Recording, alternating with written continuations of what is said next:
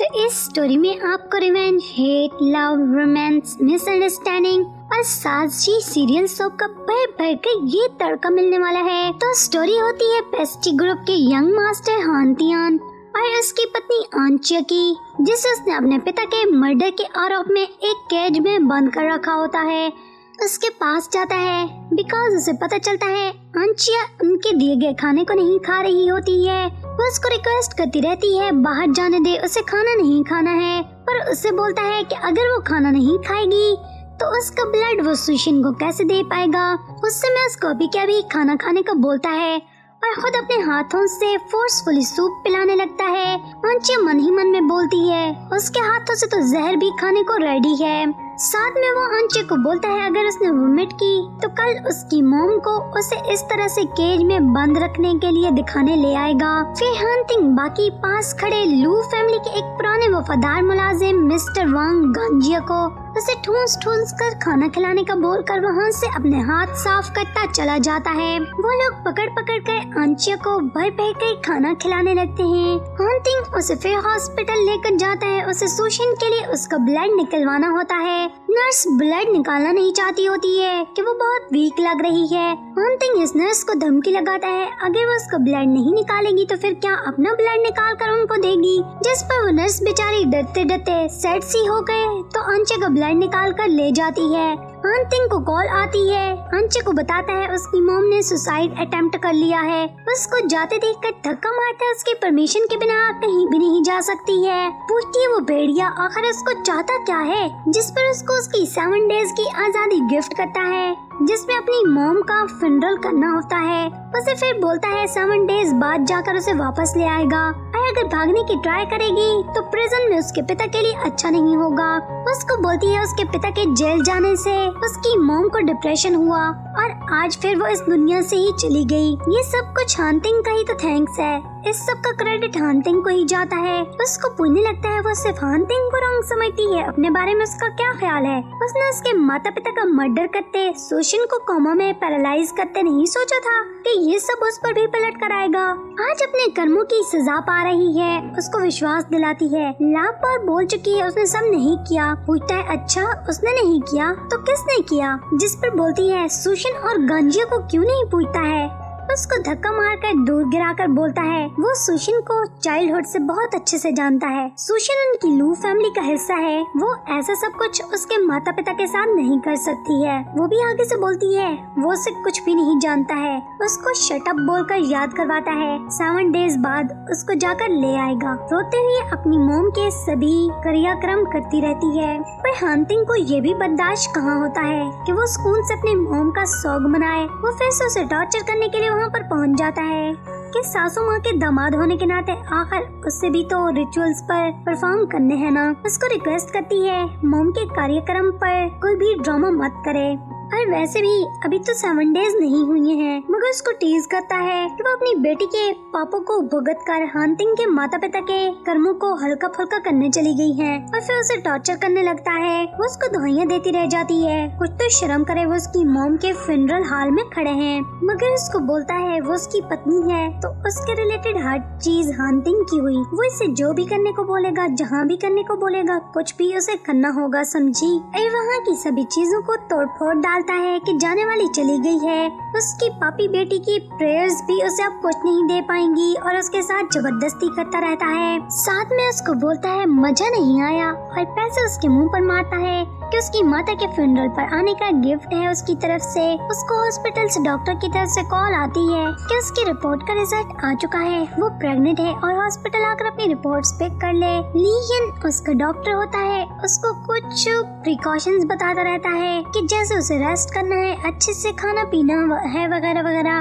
लीन को बताती है, वो इसके बारे में हंटिंग को नहीं बताना चाहती है। लीन भी किसी को मत बताए, वो भी उससे प्रॉमिस कर लेता है। पर लीन के ऑफ़िस से निकलते के साथ ही डायरेक्ट उसको सामने हंटिंग स्वागत करता मिलता है और बोलता है, उसे लगा सुशिन को हॉस्पिटल देखने आई है, मगर वो तो उसके पीठ पीछे छुप छुप कर किसी और से मुलाकातें करती फिर रही है। बेचारी की कोई बात भी नहीं सुनता है। उसके सर्टिफाइड ड्यूटी बन चुकी थी।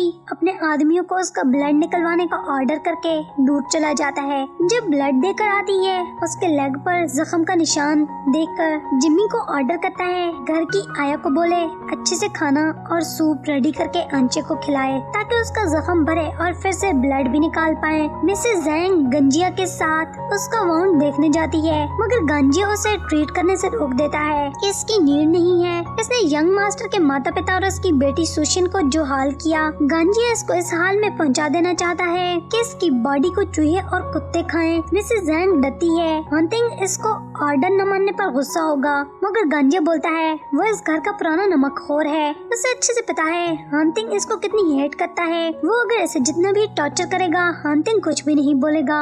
आया को सब चीज़ें वापस रख देने का कहता है। वो इसे गर्म पानी पीने को मांगती है। उसको सुनाने लगता है उसकी बेटी सुशी ने उसको अपनी बेस्ट फ्रेंड मानकर उसकी कितनी केयर किया करती थी। और इस हराम खोर ने उसका क्या हाल कर दिया? वो तो यंग मास्टर उसका थैंक्स करे जिन्होंने ऊपर पहुँचाने के बजाय उसे अभी तक ज़िंदा छोड़ रखा है। और देखो उसकी फरमाइशें ही कम नहीं हो रही हैं। फिर अंची को याद आता है, उस रोज हॉस्पिटल में उसने सुशिन को गंजी से बातें करते सुना था, जिसमें गंजी को बोल रही थी कि वो इस तरह कोमा में रहने का नाटक कर करके थक गई है। तो गंजी अंचे को टिपकाने का बंदोबस्त करे अंचे रूम में जाने लगी थी देखने, मगर नर्स ने उसे आकर बुला लिया था।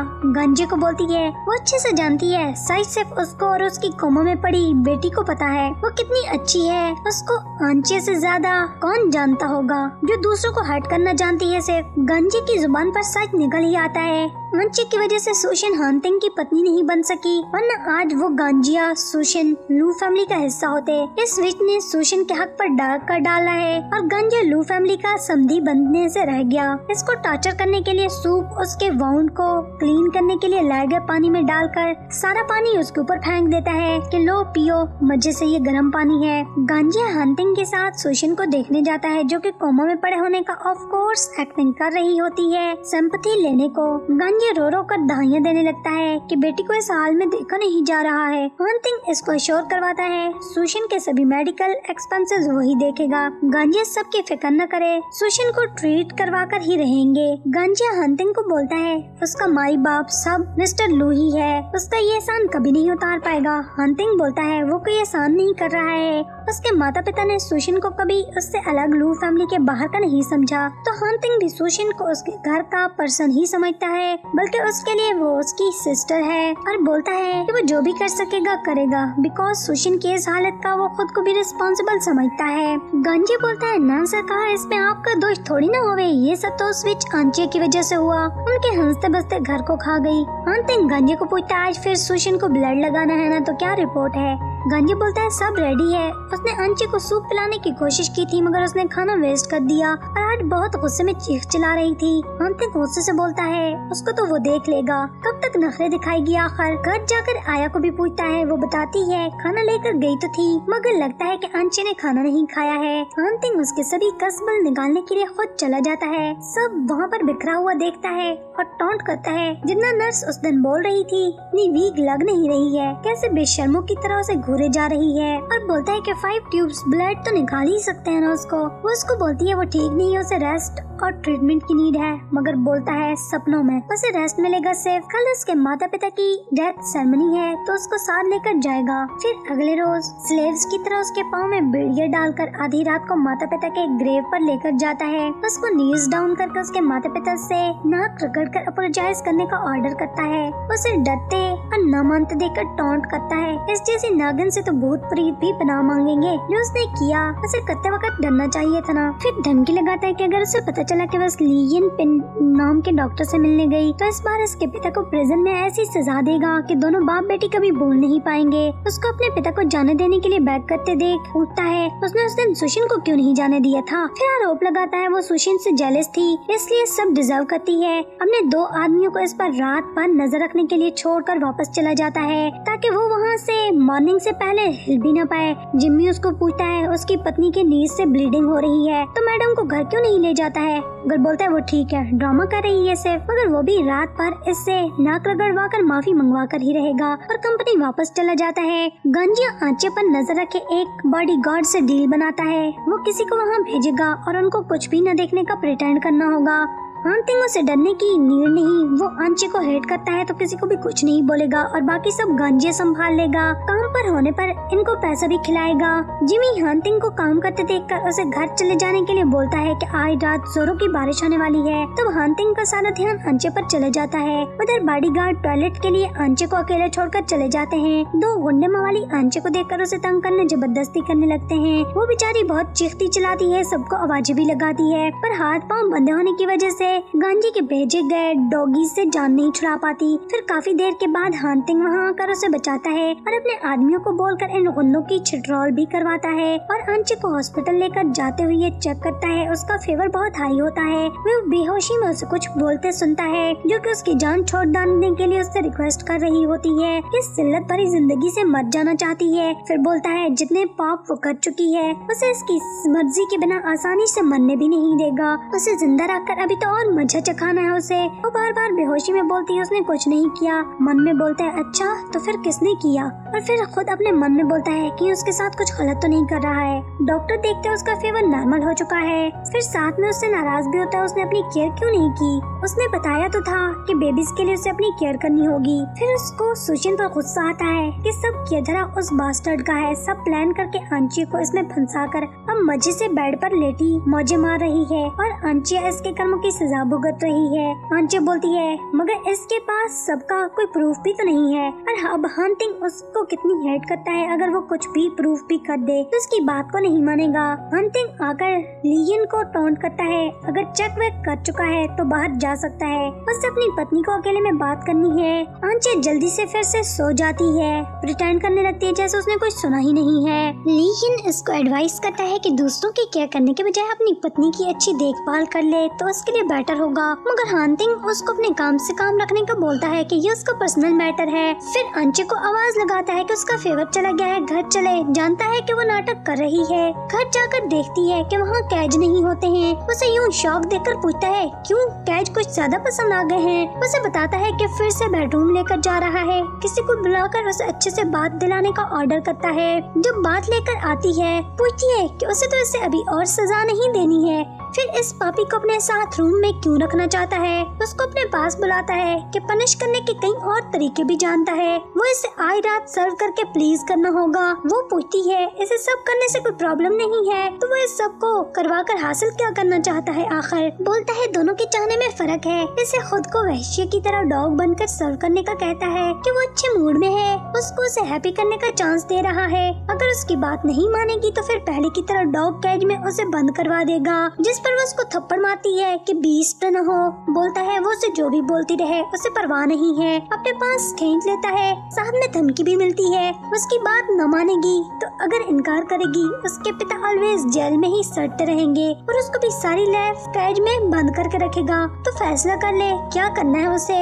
फिर न चाहते हुए भी उसे वो सब कुछ करना पड़ता है, जो कि उसे करवाना चाहता होता है। उसे प्लीज़ करती रहती है। मॉर्निंग में उसको वोमिट होने लगती है। वो वजह पूछता है, उसको बताने लगती है कि कुछ बताना चाहती है उसे, मगर तभी कॉल पिक करने से उसे रोक देता है। कॉल सुनकर भागा भागा जाने लगता है। उसकी बात फिर सुनेगा। सुशन आखिरकार नाटक से उठ चुकी थी। हंटिंग के जाते ही उसके साथ उसको चुपकू चुपकू हो जाती है। गंजिया नौटंकी में फुल ड्रामा क्रिएट करने आ चुका था।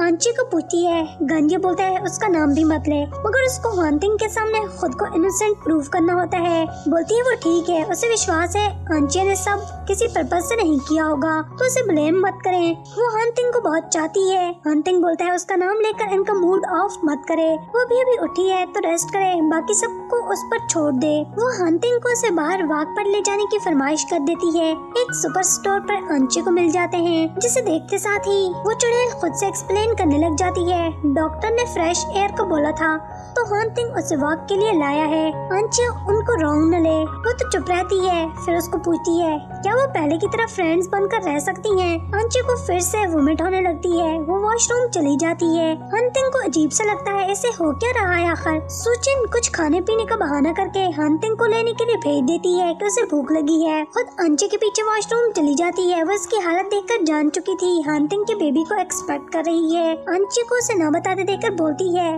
उसे अगर लग रहा है कि उसके बेबी को जन्म देकर तो लू फैमिली में रह सकती है तो ये उसकी भूल है। हंटिंग आप उसे हेट करता है। वो दुनिया की सबसे वर्स्ट वुमेन बन चुकी है उसके लिए। तो सपने देखना बंद कर दे। बिकॉज़ सुशिन अब बनेगी हंटिंग की पत्नी। उसने अंचे को अभी तक लू फैमिली में रोज टॉर्चर करके मज़े लेने के लिए रखा हुआ है। अंचे उसको बताती है, वो कितनी घटिया है कि उसने अंचे से बदला लेने के लिए अंकल आंटी को भी बल्ली की बैंड चढ़ा दिया। सुशिन को थोड़े शौक तो लगता है कि सबके बारे में अंचे को कैसे पता है कि सबके पीछे उसका हाथ है। फिर ढिटाई से मान जाती है कि प्यार और जंग में सब जायज़ है। जो भी उसके और हंटिंग के रास्ते का कांटा बनेगा, उसे रास्ते से हटा देगी कोई भी हो।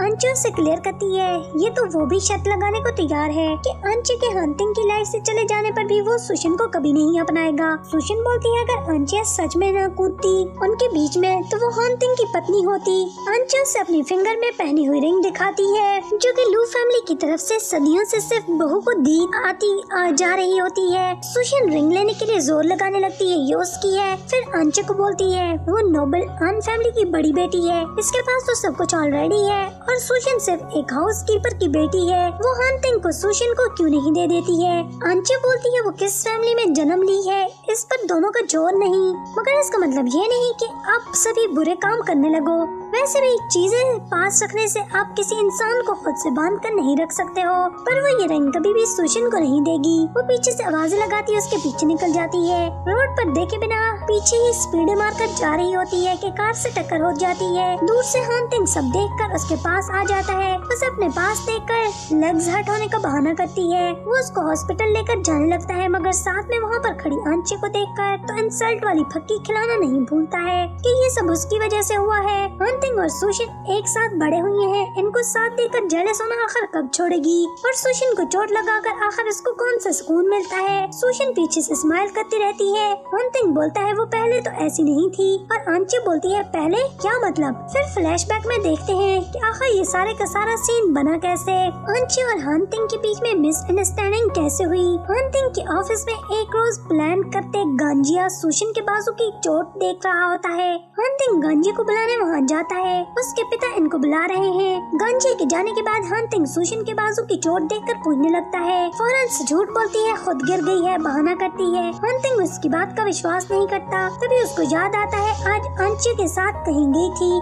अंचे से पूछने चला जाता है। वो उसका मूड ऑफ़ देख कर वजह पूछती है। उसको बोलने लगता है, वो देख रहा है अंचे की सोशन से जलसी रोज बरोज बढ़ रही है। वो जानती भी कि वो दोनों चाइल्डहुड फ्रेंड्स हैं। उसको वार्न करता है कि अंचे के लिए अच्छा है। खुद को वहीं पर रोक ले, वरना अच्छा नहीं होगा। अंचे आज इस तरह से हंटिंग को ऐसा गुस्से में देखकर सुशन को बात करने के लिए कॉल करती है। उसे कहीं पर उसे मिलना है, बात करनी है। सुशिन चाहती ही यही थी फ़ौरन से मिलने के लिए मान जाती है और उसे जगह भी बता देती है कि कहाँ पर दोनों मिलेंगी। उसके बाद किसी को कॉल करके तो उनकी कार का नंबर बताकर उसको हिट करने के लिए ऑर्डर करती है। हंटिंग उसको जाते देखकर पूछता है, बोलती है अंचे ने बुलाया उसे मिलने के लिए। तभी हंटिंग के माता पिता भी कंपनी जाने के लिए। तो सुशिन को इनके साथ ही चलने को बोलते हैं कि रास्ते में उसको ड्रॉप कर देंगे। सबको प्लान अच्छा लगता है। सभी लोग इकट्ठे कार में बैठकर चले जाते हैं। फिर से सीन प्रेजेंट में हॉस्पिटल पर शिफ्ट होता है। गंजी और ड्रामेबाज वहाँ आकर आंचे को उसकी सुशन को हट करने पर तो कर्ज करने लग जाता है कि चाहती क्या है उसकी बेटी की जान छोड़ क्यों नहीं देती है? हंटिंग के बोलने पर उसको छोड़ता है। वो पूछता है कि उसे कुछ बोलना है। आंचे बोलती है, नहीं, उसे कुछ भी नहीं बोलना। तो पकड़ कर सीधा सुशिन के आगे जाकर फेंकता है कि जब तेरे को कुछ नहीं बोलना अपनी सफ़ाई में तो चलो फिर सॉरी करो इसे। वो बोलती है, खुद रोड पर अंधों की तरह भागी जा रही थी तो कान ने हेट किया। इस सब में उसका क्या कसूर? वो सॉरी क्यों करे? हंटिंग उसकी बात का विश्वास करे, ये तो इम्पॉसिबल होता है। सुशिन चालाक से भी मज़ा लेते हुए अच्छा बनने के लिए कहती है उससे अंचे की सॉरी नहीं चाहिए। उसने कुछ नहीं किया। हंटिंग के चीखने चलाने पर अंचे बिना सॉरी की है, वहाँ से रोती धोती भाग जाती है। वो फिर उसके पीछे जाकर पकड़ लेता है। उसको बोलती है, उसे आइडिया नहीं था कि उसके साथ आगे लाइफ में ये सब कुछ कुत्तों वाली बेचती बेजती होने वाली है। तो वन ईयर पहले अपने सासू ससुर के साथ ही वो भी मर जाती। इस जिल्लत को जीने से तो अच्छा था। उसके पिता को जेल भेजकर, इसकी मोम का मर्डर करवाकर हांतिंग को अभी भी सुकून नहीं मिल रहा है। आखिर किस हद तक जाएगा अभी और? बोलता है, वो सब जो इमेजिन भी नहीं कर सकती है। पाप उसने किए हैं हांतिंग ने नहीं। उसको बोलती है, जाकर गांधी और सुशिन को सच क्यों नहीं पूछता है? याद रखे, जब उसे पता चलेगा, आंचे झूठ नहीं बोल रही थी, फिर बहुत पछताएगा। बोलता है, बिल्कुल नहीं पछताएगा। अभी सच ये है कि उसने सुशिन को हट किया है तो वो उसको अपोलोजाइज करने वाली है। उसको बोलती है, कब? आखिर कब सच देखेगा? उसने कुछ नहीं किया और कोई सोरी वोरी नहीं करेगी। वहाँ से भाग जाती है रोते हुए। डॉक्टर बोलता है सुशिन बिल्कुल ठीक है। गांधी उसको आँखों से इशारा करता है। उसने अच्छे से चेक किया होगा। वो गिरी है, उसको चोट ज़रूर लगी होगी। डॉक्टर बोलता है, उसे कुछ नहीं हुआ। गांधी पागलों की तरह उसके पीछे भागता रहता है। बिकॉज़ उसने हान थिंग से सुशिन के लिए अभी एम्पथी लेने का लंबा प्लान बनाया हुआ था। जो कि फेल हो गया था। बिकॉज़ डॉक्टर उसकी जान पहचान का नहीं था तो डॉक्टर ने सच बोल दिया कि सुशन भी कुछ नहीं हुआ। हंटिंग जाता है सुशन के पास उसने सर्विलेंस कैमरा की रिकॉर्डिंग में देखा है? कार ने तो फ़ौरन ब्रेक लगा दिए थे, इसे हर्ट नहीं किया था। वो बस डर गए तो चेयर से नीचे खुद ही गिर गई थी। झूठ बोले कौवा काटे तो फ़ौरन बोलती है कि हाँ हाँ वो तो ठीक है। वो तो कब से ही इनको बोल रही थी, उसे कोई चोट नहीं लगी। हंटिंग इसको पूछता है, वो आंचे के पीछे वॉशरूम क्यों गई थी? उससे क्या बात हुई? उसकी फ़ौरन बड़ा से झूठ बोलती है कि वो आंचे के साथ फिर से पहले की तरह फ्रेंडशिप करने गई थी। मगर उसने मना कर दिया। वो सैड होकर इसके पीछे भाग रही थी और बेख्याली में रोड पर देखे बिना ही उसको चोट लग गई। हंटिंग बोलता है, उसे कंपनी में काम है, उसे रेस्ट करना चाहिए और वहाँ से चला जाता है। हॉस्पिटल के बाहर रिंग को तकती आंचिया अपनी फ़र्स्ट में हंटिंग से मिलने का याद करती है। जब वो बचपन में सुशिन के साथ और हंटिंग के साथ उससे खेलने जाया करती थी, मगर हंटिंग को पूल में गिरते देखकर उसने हांतिंग को पूल से बाहर निकालकर उसकी जान बचाई थी। उसे इस समय से ही हांतिंग से लव हो गया था।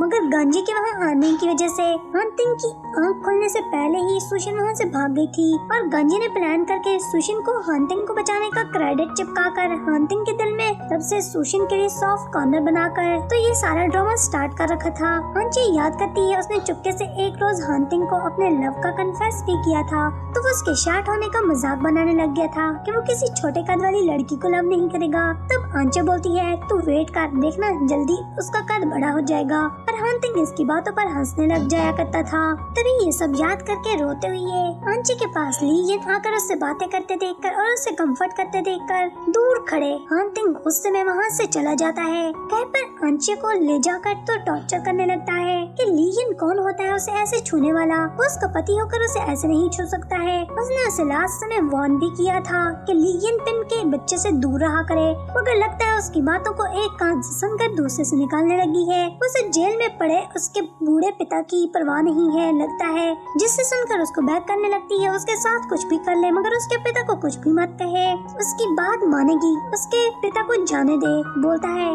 ये सब तो उस पर डिपेंड करता है, उसके साथ अब कैसे बिहेव करती है। अगर अच्छे से उसकी बात मानेगी, उसके पिता भी जेल में हैप्पी रहेंगे, फिर उसे, उसको प्लीज़ करना होता है, जो कि ऑफ़ कोर्स वो करने लगती है। रात को जब सुशील हंटिंग को कॉल करती है, वो आंची के साथ इंटीमेट होते हुए है हाथ मार कर तो सर नीचे गिरा देता है और उसकी कॉल पिक नहीं कर पाता। सुशिन गुस्से से गिल्टी करती रहती है। मॉर्निंग में आंची के बॉडी पर हंटिंग के गिफ्ट की हुई है। ढेरों सारे लव बाइट दिखते हैं। आंची की बर्थडे होती है। उसके पिता ने जेल से अपने फ्रेंड से कहकर गिफ्ट बाय करके आंची के लिए भेजा होता है। बर्थडे की विश के साथ उसे जेल में अपना हाल अहवाल भी बता रहा होता है कि वो वहाँ अच्छे से है और जल्द जेल से बाहर भी निकल आएँगे। पितर के दिए गए डोर को लेकर रोते हुए साथ में सब कुछ याद करने लगती है। जब हान हानतिंग के मोम डैड की डेथ हुई, तब हान हानतिंग ने आंचे पर केस कर दिया था, जिसके बदले में आंचे के पिता ने इससे बचाकर खुद जेल चले गए थे कि वो बूढ़े हो चुके हैं, उनके पास करने को कोई काम वाम नहीं। मगर आंचे यंग है, उसका फ्यूचर अभी उसका वेट कर रहा है।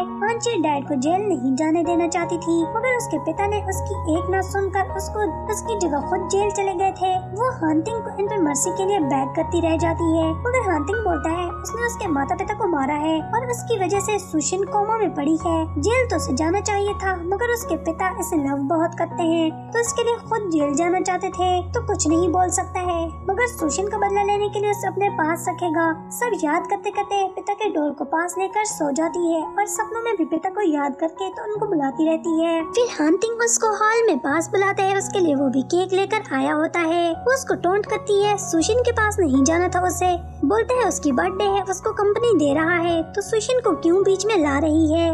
उसको गिफ्ट देता है कि देख ले, उसे अच्छा लगा है या नहीं। अब भला पति गिफ्ट करे और पत्नी को गिफ्ट पसंद न आए, ऐसा भी हो सकता है क्या? फिर उठकर उसे खुद पहनाने जाता है। आंची को अच्छा लगता है। तभी हांटिंग उसके नेक पर उसके लव बाइट वाले निशान देखता है और स्माइल करता हुआ उसको कान में पूछता है, वो अच्छे से आराम से उसकी बात क्यों नहीं मान लिया करती है? कि उसे चोटें लगानी पड़े? मेन समय पर गांजिया डांडिया कॉल करके रंग में भंग डाल देता है और बोलता है सुशन सपने में डर गई है। हंतिंग को मुसलसल बुलाई जा रही है। गांजी की बात सुन, वो सब वहीं पर छोड़कर हंतिंग वहीं से सुशन को देखने के लिए निकल जाता है। आंची को बेहद गुस्सा आता है। चुड़ैल उसे एक लम्हा भी सुकून का पति के साथ नहीं गुजारने देती है।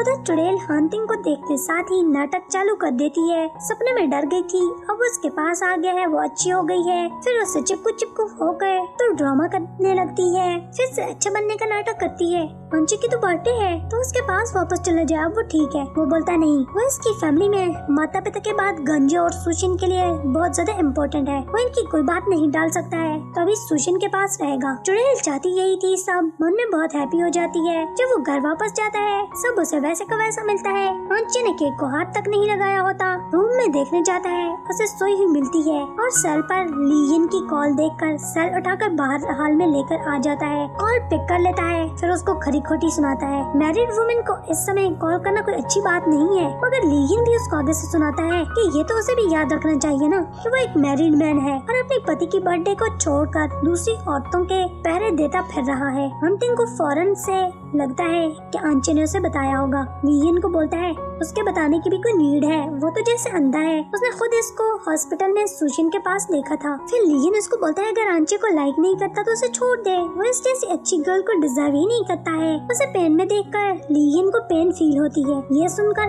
हंटिंग की खोपड़ी घूम जाती है। वो इसकी पत्नी है, जो मर्ज़ी करे। और लीगिन को धमकी लगाता है। एक और बार भी कॉल की ना उसकी पत्नी को। तो वो इस पर अंचे को हिरास करने का केस करके इसको जेल करवा देगा। फिर उसे किसी हॉस्पिटल में जॉब वॉब नहीं मिलेगी। तो इसके लिए अच्छा है कि अपने थोबड़े को बंद करके इसकी फैमिली बिज़नेस से दूर रहा करे। फिर उसे वहाँ पर आंची का फेंका हुआ नेकलेस भी दिख जाता है। अब तो वो बिल्कुल ही गुस्से से पागल हो जाता है। आंची की आँख खुलती है, अपने पिता की दी हुई डोल न देखकर तो भागती है। वो बाहर उसे जला रहा था। वो उसे आग से निकालने की कोशिश करती है, मगर ऐसा करने नहीं देता है कि अगर चीप डोल जल भी जाए, वो इसको बोलती है, इसका बर्थडे गिफ्ट है, कोई चीप डोल नहीं, बोलता है, जानती भी है कि उसने कितनी महँगी नेकलेस उसे दी है। वो बोलती है, इसका पैसों से लेना देना नहीं है। जब तक डोल जल नहीं जाती, उसको पकड़े रखता है। उसे लगता है, ये लीन ने उसे गिफ्ट की थी। बोलता है, उसे पता नहीं था, दूसरों के हाथों दी गई इतनी चीप चीज़ें लाइक करती है। तो वो भी उसे ऐसी कोई चीप सी, सस्ती सी डॉल बाय करके दे देता। अभी तो वो उसे कार गिफ्ट करने का सरप्राइज़ करने वाला था। उसे रोते देखकर दूध फेंक कर उसे मज़े लेता रहता है कि जाओ, जाकर उठा लो। इतना ही सैड लग रहा है तो। फिर मिसेज जैन को बुलाकर उसे उस पर नज़र रखने और उसे घर पर बंद कर के रखने को बोलता है कि घर से बाहर न निकलने पाए। सुशील को कुछ दिनों के लिए घर लेकर आ जाता है, जिस पर बेहद हैप्पी होती है चुड़ैल। अंतिम उसे अपनी गोदी में उठा लेता है और गांजे को चेयर नीचे लाने को बोलता है। तभी आंची को सामने देखकर आंची उसको पूछती है, वो उसे लियन को कॉल भी नहीं करने देता और खुद बाहर की औरतों को गोदी में उठाए घर लेकर आता है? क्या बात है? बोलता है, वो चल नहीं सकती है, जानती तो है। इसके पास उसकी फजूल टोंट सुनने का कोई समय नहीं है। सुशिन हंटिंग को उसे नीचे उतारने का नाटक करने लगती है। अंशु को बुरा लग रहा है। वो पूछता है, वो स्टेयर से फिर नीचे कैसे जाएगी अगर उसे उतार दे? गंजी जल्दी पर तेल छिड़कता है कि वो तो पहले ही बोल रहा था हंटिंग इनको अपने घर लेकर न आए। अंशु सुशिन से जेलस है। इनको यहाँ नहीं आना चाहिए। इसके लड़ाई झगड़े से सुशीन की तबीयत और बिगड़ जाएगी। हांतिंग बोलता है, वो ऐसा वैसा कुछ नहीं करेगी, इसकी गारंटी तो वो लेता है। अरे, अगर ऐसा कुछ करेगी भी तो फिर हांतिंग को भी तो भुगतेगी ना। दोनों बाप बेटी मन ही मन खूब हँसते रहते हैं। वो अंचे के हाथ पर जलने का निशान देखकर पूछता है कि इस पर कुछ लगाया क्यों नहीं अभी तक? फिर मिसेस जैन को डांटता है, उसने इसके जलने के वाउंड को ट्रीट क्यों नहीं किया? वो डर रहा था कि इसको ऐसे अनट्रीटेड छोड़कर कहीं इसमें कोई इन्फेक्शन न बन गया हो। मिसेस जैन डरते डरते बताती है, उसने डॉक्टर को भी बुलाया था। मगर इसने इसको चीख चीख कर घर से ही भगा दिया। ना कुछ खा पी रही है। दोनों बाप बेटी आँखों आँखों में इशारा करके सुशन को आंचे के पास लेकर जाता है। जाकर बोलती है, इसे वाउंड को अच्छे से ट्रीट करना आता है, उसे करने दे। उसको पीछे करती है, चुड़ैल इसे दूर रहा करे। गांजे बीच में अपनी उंगली घुसाता है। इसकी बेटी तो इसकी फ़िक्र में कुछ करना चाहती है। वो उल्टा, ऐसा बिहेव कर रही है। हॉन्टिंग देख कर उसका मीटर ही घूम जाता है और बोलने लगता है, वो बार बार इसके सबर को आजमाती क्यों है? ये सब करके। उसको बोलती है, आज के रोज तो कम से कम इस चुड़ैल को इससे दूर करके, इस पर मेहरबानी कर दे। अगर नहीं करेगा तो वो ही कुछ देर के लिए इनसे दूर चली जाती है। सुशीन हॉन्टिंग को बोलती है, उसकी फ़िक्र न करे, वो ठीक है। दोनों इसकी वजह से न लड़े। वो चली जाती है वहाँ से और वहाँ से जाती हुई अंची के बाउंड पर हाथ रखती है। वो उसको खुद से दूर करती है। क्यों बार बार चुड़ैल उसको तंग किए जा रही है। अब तो उसे बहाना मिल जाता है। रोने लग जाती है, उसे दर्द हो रहा है। तो उसके पिता उसे वहाँ से ले जाएँ। उसे वहाँ पर नहीं रहना है। हंटिंगन को रोकता है और अंचे पर चलाने लग जाता है कि पागल ये सब करके उसको सुकून मिल गया और सीधे रूम में जाने का बोलता है कि इसे वहीं पर देखेगा। वो दोनों बाप बेटी को कांग्रेट करती है कि अपने मिशन में सक्सेसफुल हो गए हैं। उनको इस घर में रहने का बहुत शौक है ना तो फिर वही रहे। वो वहाँ से चली जाती है। अब हांतिंग उसको पीछे जाते देखकर, उसके पीछे जाने ही लगता है। वो उसका हाथ पकड़कर ट्रेल उसके फिर पीछे जाने का और उसको रोकने का ज्ञान भी बांटने लगती है। माँ कसम एकदम बढ़िया ड्रामा क्या पूरा फ़िल्म होती है? मतलब उसने हाथ पकड़ कर ही उसे जाने नहीं दिया। और साथ में बोलती है कि जाकर उसे रोक भी लो। हंटिंग बोलता है, खुद ही लौट आएगी, जब अकल ठिकाने आएगी। मौसम खराब हो जाता है। अंची को पेट में बहुत पेन होने लगता है। फिर कोई न कुछ करके एक राइड लेती है। मगर ड्राइवर एक बाइक वाले को आगे से बचाने के चक्करों में खुद अपना एक्सीडेंट करवा बैठता है। एक्सीडेंट में आंचे की हालत बुरी तरह से बिगड़ जाती है। उसे भर भर कर ब्लीडिंग होने लगती है। फ़ौरन बारिश में गिरती पट्टी भीगती। हंटिंग को कॉल करके अपने एक्सीडेंट का बताती है। उसे उसकी हेल्प की नीड है, मगर उसका विश्वास ही नहीं करता है कि फ़ौरन घर वापस आ जाए, जहाँ भी है, मौसम बहुत खराब है। वो बताती है, प्रेग्नेंट है। फिर भी बोलता है, झूठ बोलकर पास बुलाने का ड्रामा कर रही है। वो प्रेग्नेंट कैसे हो सकती है? हर समय तो वो गोलियाँ खाती रहती थी और बोलता है, कल भी उसने पिल्स खाई थी। वो झूठ बोल रही है। वो उसको विश्वास दिलाती रहती है, कोई झूठ नहीं बोल रही है। आकर अपने बच्चों को बचा ले। और बोलता है, वो सुशिन के पास है। सुशिन को उसकी नीड है और उसे जल्दी से घर वापस पलट आने का बोलकर कॉल बंद कर देता है और बोलता है, खुद ही आ जाएगी। उधर से वो चुड़ैल उसे मुसलसल आवाज़ें लगा रही होती है कि उसकी लेग्स हट हो रही हैं, जिस पर कॉल बंद करके उसके पास चला जाता है। कोई अंशी को हॉस्पिटल पहुँचा देता है। लीगिन को उसकी बहुत फ़िक्र हो रही थी। मतलब वो सुशिन के रूम में न्यूज़ पर एक्सीडेंट वाली न्यूज़ सुन लेता है। फिर तो पता चल ही जाता है कि वो झूठ नहीं बोल रही थी। कॉल करने लगता है। भले वो कॉल कैसे उठाती? फिर भागा भागा खुद ही हॉस्पिटल जाकर अंचे को पूछने लगता है। तभी डॉक्टर भी अंचे की फैमिली का पुण्य आया होता है कि उसकी हालत पतली है तो उनको साइन वाइन करवाने हैं और उसकी बहुत ब्लीडिंग हो चुकी है तो ब्लड भी किसी का लेना होगा। फ़ौरन से अपना ब्लड पेश कर देता है कि वो उसका पति है तो उसका ले ले। फिर लियन जब उसको देखकर तो लड़ने लगता है कि किस मुँह से वहाँ आया है और उसे बुला रहा है। बोलता है, पति है उसका। लियन बोलता है, तभी तो वो छह घंटे बारिश में सड़क पर लवारिस पड़ी रही। कितना बेशरम और बेहिस है। उसको आगे से बोलता है लियन को उसे कुछ भी समझाने की नीड नहीं है। तो अपनी एनर्जी फजूल में वेस्ट न करे। उसे अपनी पत्नी को कैसे ट्रीट करना है, वो अच्छे से जानता है। तो थर्ड पार्टी को उनके बीच घुसने की कोई परमिशन नहीं देगा। वो जा सकता है, अगर उसका वहाँ काम नहीं है। लीजन गुस्से से चला जाता है कि ये तो बहुत ही ढीठ इंसान है, ये कभी नहीं बदलेगा। अंची के पास बैठकर उसके होश में आने का वेट करता रहता है। जब उसकी आँख खुलती है तो उसकी केयर करने लगता है। मगर वो डायरेक्ट बोलती है, इसे हंटिंग से आज़ादी चाहिए। डाइवोर्स लेना है उसे। गुस्से से पागल कुत्ता ही बन जाता है। उसकी डाइवोर्स करने और मांगने की हिम्मत भी कैसे हुई भला? उसको बैग करती है। सच में अब बहुत थक गई है। उसे इस सबसे जाने दे। बोलता है डाइवोर्स गुड्डे गुड़िया का खेल नहीं है। इतना सिंपल नहीं है जितना उसे लग रहा है। वैसे बिल्कुल भी ठीक लग रही है। तो रेस्ट करे। तब तक वो सुशिन को देख कर आता है। फिर इस पर बाद में बात करेंगे। उसके जाते ही लीगियन उसके पास आता है। उसके पुण्य पर बताते उसके बेबी को तो नहीं बचा सका है। फिर उससे हेल्प के लिए रिक्वेस्ट करती है। जब हंटिंग वहाँ वापस आता है बेड खाली और अंशिया गायब मिलती है। वह उसके पेपर साइन करके गई होती है। किसी को कॉल करके सर्च करने का ऑर्डर करता है। अंशिया लीगियन के अपार्टमेंट पर होती है।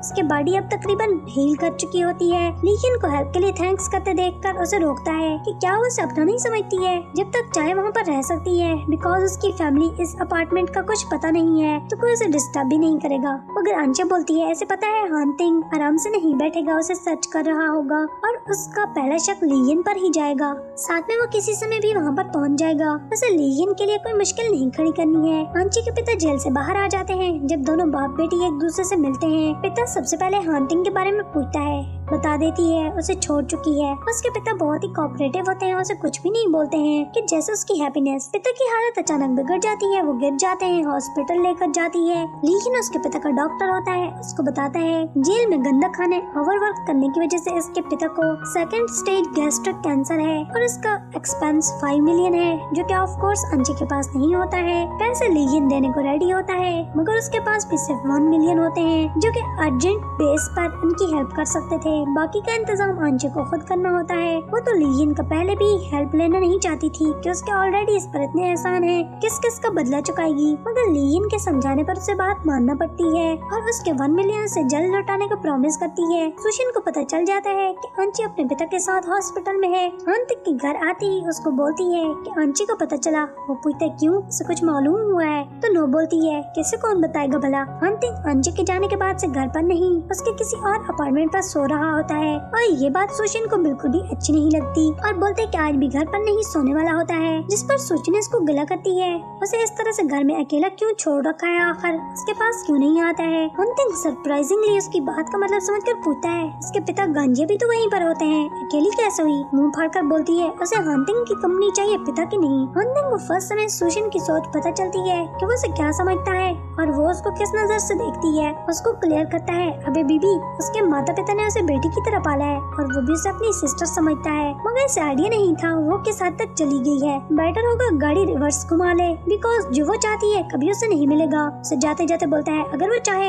तो हॉन्टिंग इसकी बुरियत को कम करने के लिए, किसी को कंपनी देने के लिए, किसी और को अरेंज करके तो इसे हैप्पी कर देगा। फ़ौरन से कल्टी मारती है। वो गलत समझ रहा है, इसका वो मतलब थोड़ी ना था। ये उसका घर है, वो जहाँ चाहे सोए। वो तो सिर्फ़ आंचे को लेकर वरीड है और चाहती है की वो जल्दी से उसे सर्च करके वापस ले आए। तो हॉन्टिंग जिसकी बात पर नाराज़ होता है, फ़ौरन से नॉर्मल हो जाता है। मतलब कि उसे हॉन्टिंग को घुमाना बहुत अच्छे से आता होता है। सुशिन हॉस्पिटल में दोनों बाप बेटी के पास पहुँच जाती है। आंची को उसकी लेग्स ठीक देखकर काफ़ी ज़्यादा सरप्राइज़ होते देखकर धड़ल्ले से बता देती है। वो कब की बिल्कुल ठीक है। व्हील चेयर पर बैठकर नाटक कर रही है। उसे बताती है, फ़िक्र न करे हॉन्टिंग को इसके बारे में कुछ नहीं बताएगी। बिकॉज़ वो नहीं चाहती है की आंची कभी हॉन्टिंग की लाइफ में वापस जाए। सुशन को पता होता है कि अंकल आंट की ट्रीटमेंट के लिए उसे वन मिलियन चाहिए। उसकी हेल्प करने की ऑफ़र करती है कि उसका फ्रेंड है, जिससे किडनी चाहिए। अगर आंची डोनेट कर देगी तो उसे वन मिलियन मिल जाएगा।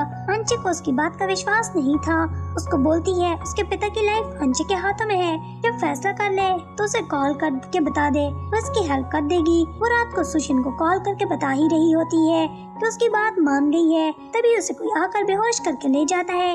उसकी आँख खुलती है, तब तक सब कुछ लुट चुका होता है। सुशिन ने अच्छे हॉस्पिटल का बोल कर उसे थर्ड क्लास ब्लैक मार्केट में उसकी किडनी सेल करवा दी होती है। अंशी इसको बोलती है, वो जानती भी है की ये सब इलीगल कर रही है, उसकी कम्प्लेन कर देगी। सुशिन को जेल भी हो सकती है। सुशिन उसका मज़ाक बनाने लगती है और हंसने लगती है की जोक अच्छा कर लेती है। मगर बोल रही है की उसके सर पर और पीठ पर हांटिंग का हाथ होते हुए उसे कभी जेल कैसे हो सकती है? दुनिया भले कुछ भी बोले, मगर हांतिंग आखिरी सांस तक सिर्फ़ सुशिन की बात का ही विश्वास करेगा। वो हमेशा उसका साथ देगा।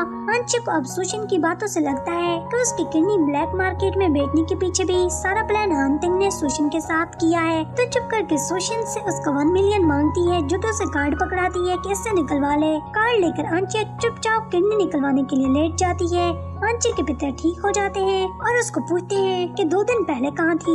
झूठ बोलती है। उसे कुछ हरीना था।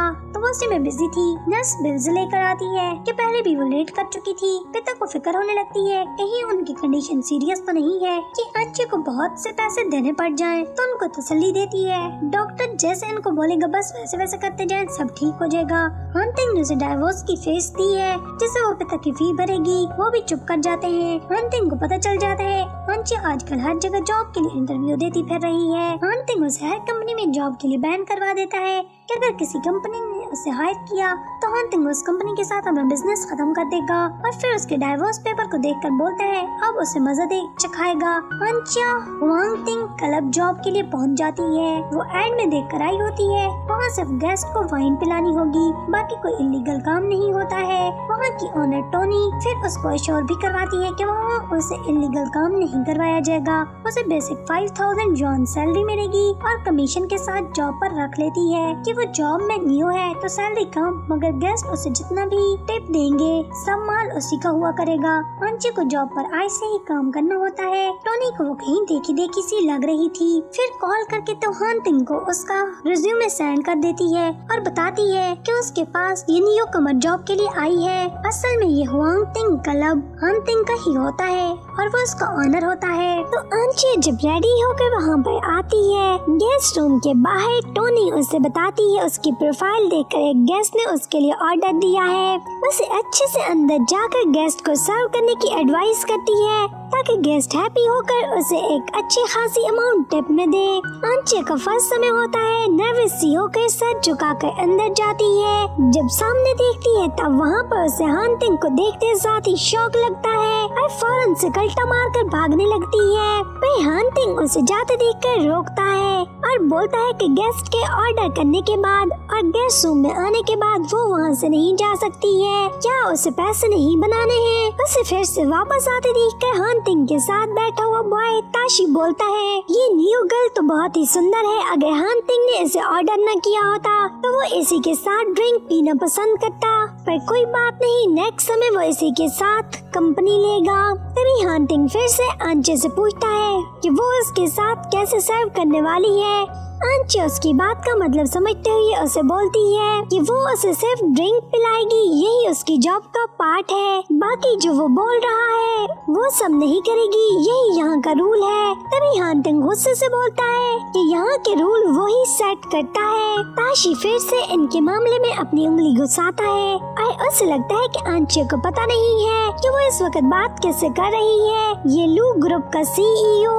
हानतिंग है, जिसकी कही हुई बात को कोई भी रद्द नहीं कर सकता है। तो अंशु को भी चाहिए कि हानतिंग की बात को चुपके से मान ले। यही उसके लिए अच्छा होगा। तभी हानतिंग एक गिलास ड्रिंक का बाइट है। तो अंशु को उसे पीने के लिए बोलता है। अंशु को चुपचाप सब कुछ देखते पाकर ताशी हानतिंग को बोलता है कि उसे इस न्यू गर्ल को इतना तंग नहीं करना चाहिए। उस पर रहम खाना चाहिए। जिसे देखकर तो हानतिंग ताशी को बोलता है कि क्या उसकी जगह फिर वो दस गिलास ड्रिंक के पिएगा।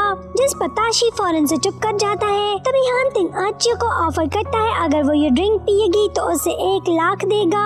एक लाख रुपए का तो नाम सुनते ही आच्य फ़ौरन से घटाघट करके तो ड्रिंक पी जाती है और फिर फ़ौरन से हानतिंग से पैसे मांगती है। वो भी पैसे अपनी पॉकेट से निकालते हुए बोलता है कि उसने कब बोला कि नहीं दे रहा है और उसकी इंसल्ट करने के लिए पैसे उसके ऊपर फेंक देता है कि ये लो, उठा लो। मैं आंची को चुपचाप से सब कुछ खड़े देखते पाकर बस धमकी लगाता है कि अगर वो ये पैसे नहीं उठाएगी तो ये पैसे उसको नहीं देगा।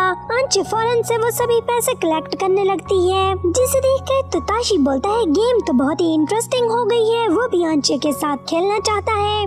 आंचे को बोलता है कि वो भी उसे जो करने के लिए बोलेगा अगर वो करेगी उसे एक लाख रुपया क्या? दर्जनों लाखों रुपए दे सकता है और पैसों की गड्डी निकाल कर उसके सामने रख देता है और ताशी उसको बोलता है कि उसे एक एक करके अपने ड्रेस के पीस को उतार कर अनड्रेस होना है उनके सामने और उसके साथ ही एक एक पैसों की गड्डी उठाते जाना है, जिस पर वो ताशी से कंफर्म करती है कि जो वो बोल रहा है वो करेगा भी ना। तो ताशी बोलता है कि हाँ वो सबके सामने प्रॉमिस कर रहा है। पैसों का नाम सुनते ही तो आंचिया फ़ौरन से अनड्रेस होना स्टार्ट कर देती है और उन सभी के सामने एक एक करके अपने ड्रेस को उतारने लगती है। और लास्ट पर ये सब देख कर तो हंटिंग को बहुत ही गुस्सा आता है और इस सबको स्टॉप करने का बोलता है। और आंचिया को यूँ सबके सामने अनड्रेस होते देखकर उसको बोलता है कि उसे विश्वास नहीं हो रहा कि आंचिया पैसों के लिए इस हद तक गिर सकती है? जिस पर तो आंचिया बोलती है कि मिस्टर लू के जैसे लोगों की मेहरबानी है कि आज वो इस हाल तक पहुँच गई है और उसके जैसे लोग इनकी सिचुएशन को कभी नहीं समझ सकते हैं। ताशी मिस्टर लू,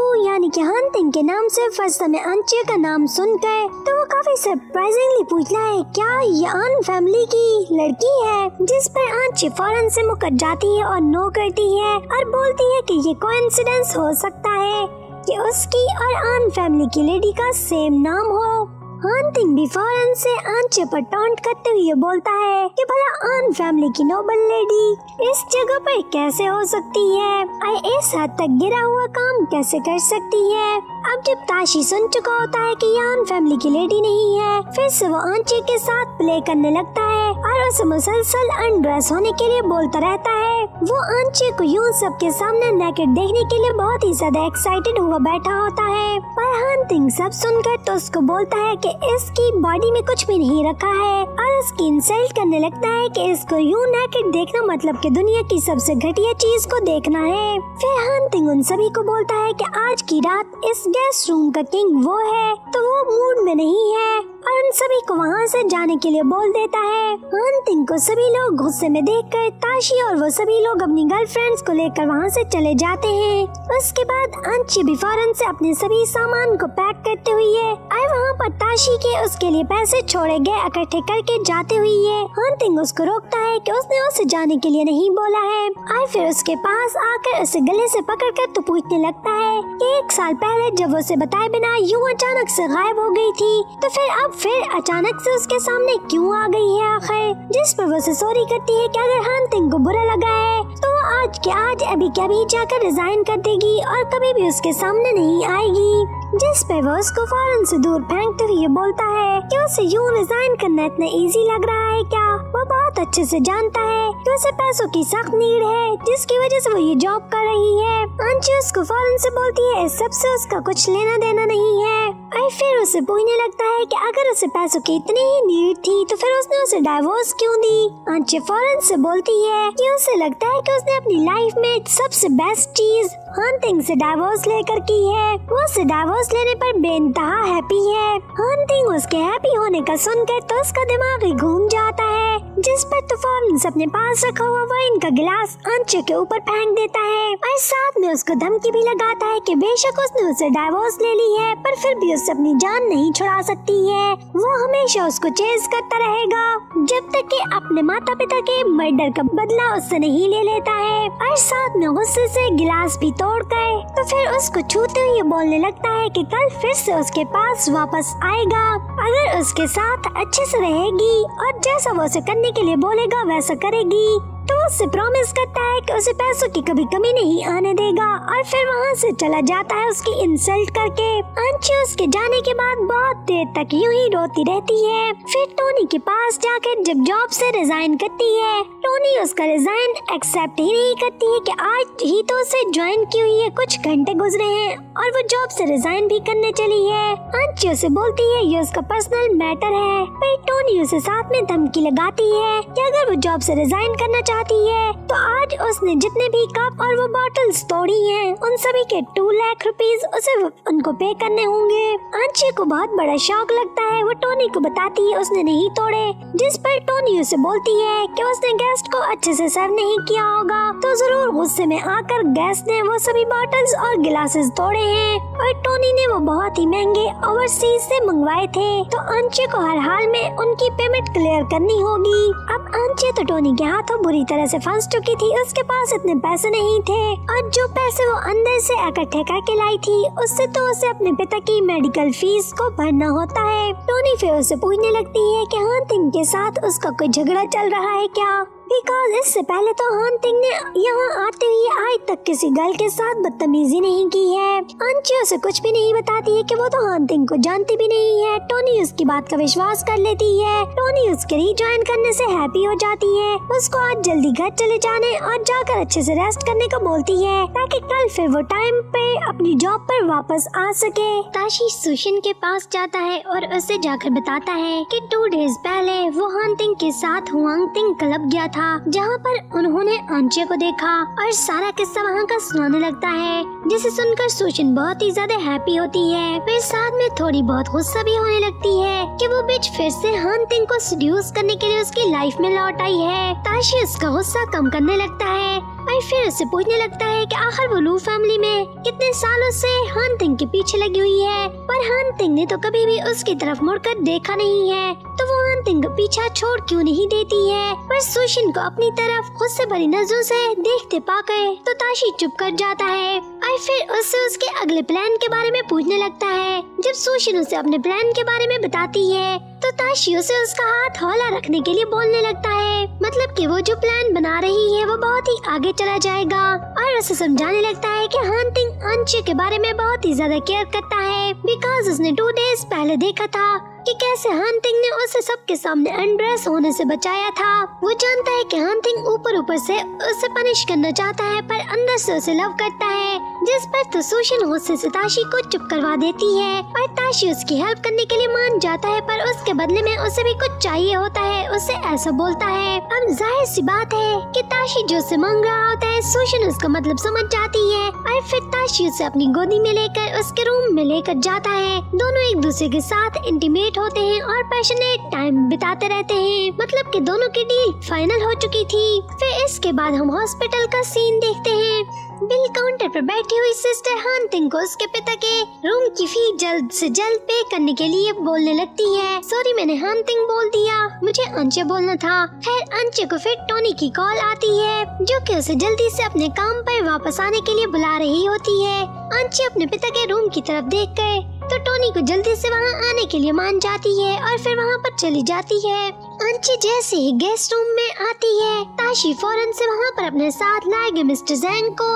अंचे की तरफ़ इशारा करता कि वो इस नियो कमर के लिए उसे यहाँ पर लेकर आया है। मिस्टर जैंग अपनी गोद में बैठी हुई लड़की को दूर फेंक कर फ़ौरन से अंचे को अपने पास खींच कर तो उसके साथ ज़बरदस्ती करने लगता है। अंचे उसको दूर करके तो बताती है कि वो यहाँ पर उसे ड्रिंक के लिए सिर्फ़ कंपनी देने तक की हद तक है। तो मिस्टर जैंग बताएँ कि वो क्या पीना चाहेंगे? जिस पर मिस्टर जैंग वहाँ पर पड़ी हुई बॉटल की तरफ़ इशारा करके बोलते हैं, अगर अंचे इस बॉटल को खाली कर देगी, यानी कि अगर वो इस बॉटल को ड्रिंक करती है तो वो इसे फाइव लाख रुपीज़ देंगे।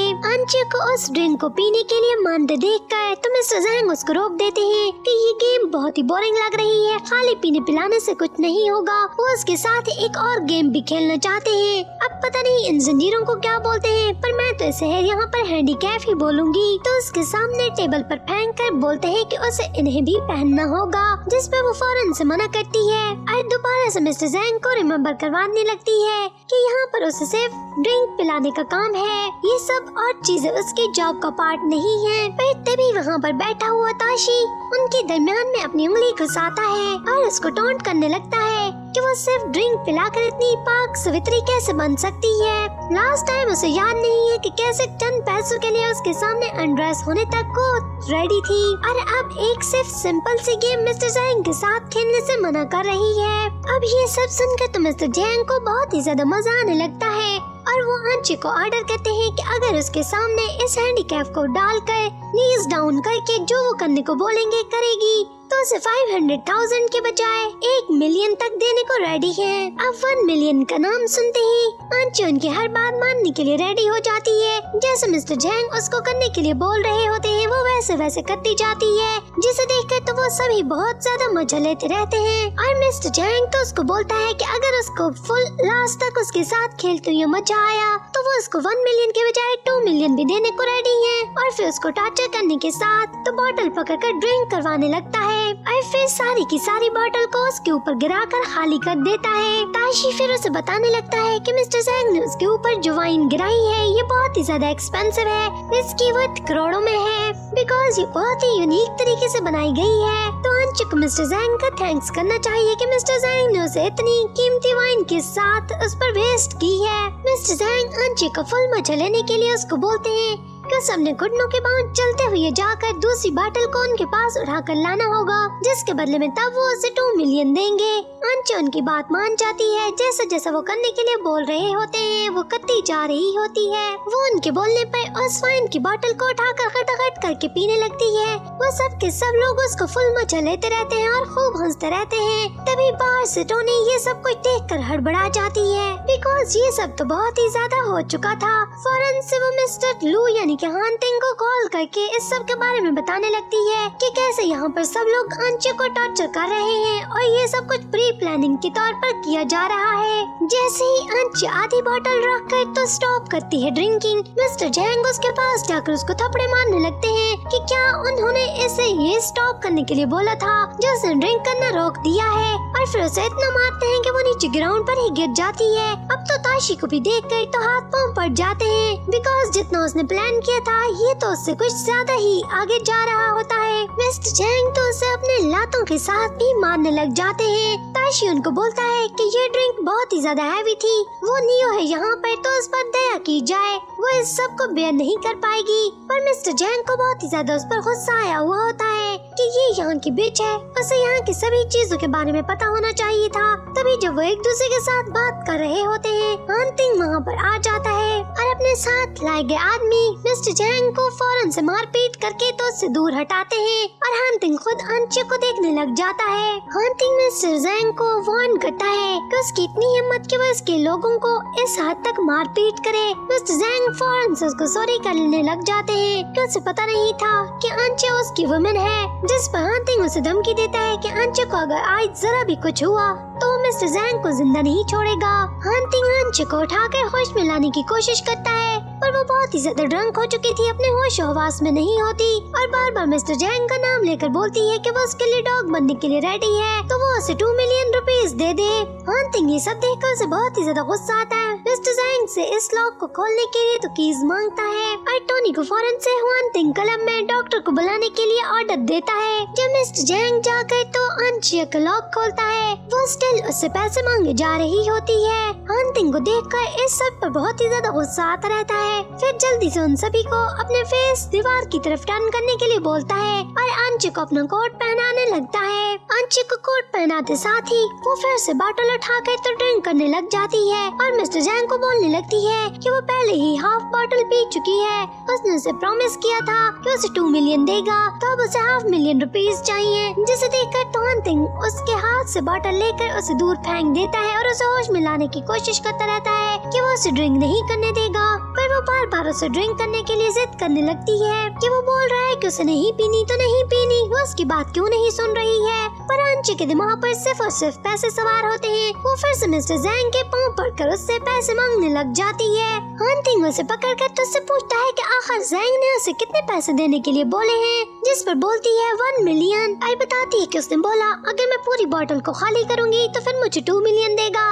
अब अंशु अनकंट्रोल होकर मिस्टर जैंग से बार बार पैसे मांगते देखकर हंटिंग का तो दिमाग ही घूम जाता है और फ़ौरन से जैंग को बहुत ही गुस्से में बोलता है, उसकी इतनी हिम्मत कैसे हुई कि वो अंशु को पैसे ऑफ़र करे? और उन दोनों को वहाँ से भाग जाने के लिए बोलता है। अब ताशी और मिस्टर जैंग को दुब दबा कर वहाँ से भागते देख कर अंशु फिर से उनके पीछे भागने लगती है, उसे पैसे चाहिए, पर हंटिंग उसे अपने पास रोके रखता है और उसको गुस्सा करने लगती है की उसकी वजह से उसके टू मिलियन जाया हो गए। हंटिंग उसको पकड़ कर बोलता है, वो जानती भी है कि वो इस हंटिंग क्लब का ऑनर है। अब फिर से उसे टॉन्ट करने लग जाता है कि दोस्तों की लाइफ को नायक बनाकर वो इतने सारे पैसे लेकर अपनी लाइफ में इतना अच्छा क्या करना चाहती है आखिर? हंटिंग गुस्से से उसे छोड़कर वहाँ से जाने ही लगता है कि पीछे से आँच बेहोश होकर वहीं पर गिर जाती है। टोनी ने जिस डॉक्टर को वहाँ पर बुलाया होता है, वो कोई और नहीं बल्कि लीयन होता है। वो दोनों एक दूसरे को देखते साथ ही एक दूसरे के साथ लड़ने लग जाते हैं। हंटिंग लीयन को अंशु को चेक करने ही नहीं दे रहा होता है। पर लीयन हंटिंग को धमकी देता है कि अगर वो उसे अंशु को चेक नहीं करने देगा तो वो उस पर केस कर सकता है। आखिर उसने अंशु के साथ किया क्या है कि वो इस हाथ तक पहुँच चुकी है? फिर लीयन की धमकी सुनकर हंटिंग उसे अंशु को चेक करने देता है। वो जैसे ही देखता है, उसे पता चल जाता है कि उसने बहुत हैवी ड्रिंक कर रखी है। जिसे देखते साथ ही वो हंटिंग पर गुस्सा करने के लिए उसे मारने पीटने लगता है। उसे लगता है कि ये सब हंटिंग ने किया है, पर हंटिंग का आदमी उसे ये सब करने से रोक देता है। अब लीजन उसे बताता है कि जितनी हैवी ड्रिंक उसने कर रखी है, इससे उसका हार्ट वीक हो जाएगा और उससे उसकी डेथ भी हो सकती है। वो कितना बेरहम है कि उसने अंशु को इतना ज़्यादा टॉर्चर किया है, जिस पर हंटिंग भाग कर तो उसकी बॉडी पर स्कार्स को देखने लगता है। अब तो उसे भी अंशु की फ़िक्र पड़ जाती है। अब हंटिंग लीजन से पूछने लगता है की अंशु की बॉडी पर ये स्कार्स किस किस्म के हैं? जिस पर लियन उसे बीस्ट बोलते हुए बताने लगता है कि उसे लगता है कि ब्लैक मार्केट में काम करने वाले डॉक्टर से इसका किसी तरह से कोई ट्रीटमेंट करवाया गया है,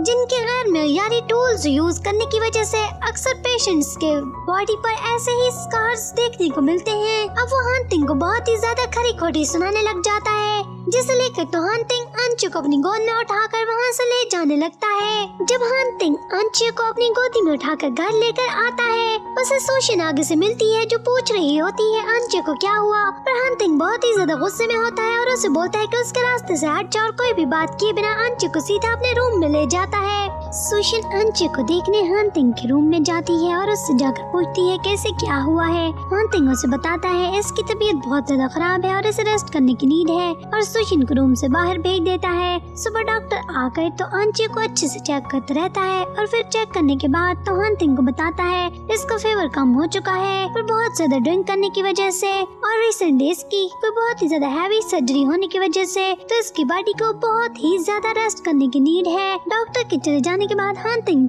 अंशु के पास ही बैठा रहता है और फिर अंशु अपने सपनों में ली हिन को उसकी हेल्प करने के लिए बुला रही होती है, जिसे वो उसके करीब जाकर सुनता है। और सुनते साथ ही उसे बहुत ही ज़्यादा अंशु पर गुस्सा आने लगता है और उसे सोते में जगा कर पूछने लगता है कि वो हेल्प के लिए किसको बुला रही थी। अंशु उसे बोलती है, ओह, ये तुम हो।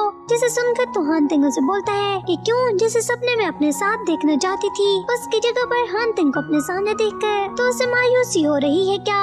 अंशु वहाँ से जाने लगती है। हंटिंग उसको रोकता है और उसके बार बार वहाँ से जाते देख कर वो उसे गुस्से से बोलता है, वो यहाँ से नहीं जा सकती है। वो बोलती है, उसे काम पर जाना है। हंटिंग उसे बोलता है कि उसे वन मिलियन रुपीस चाहिए ना तो वो उसे देगा। क्या उसके साथ रात सोएगी?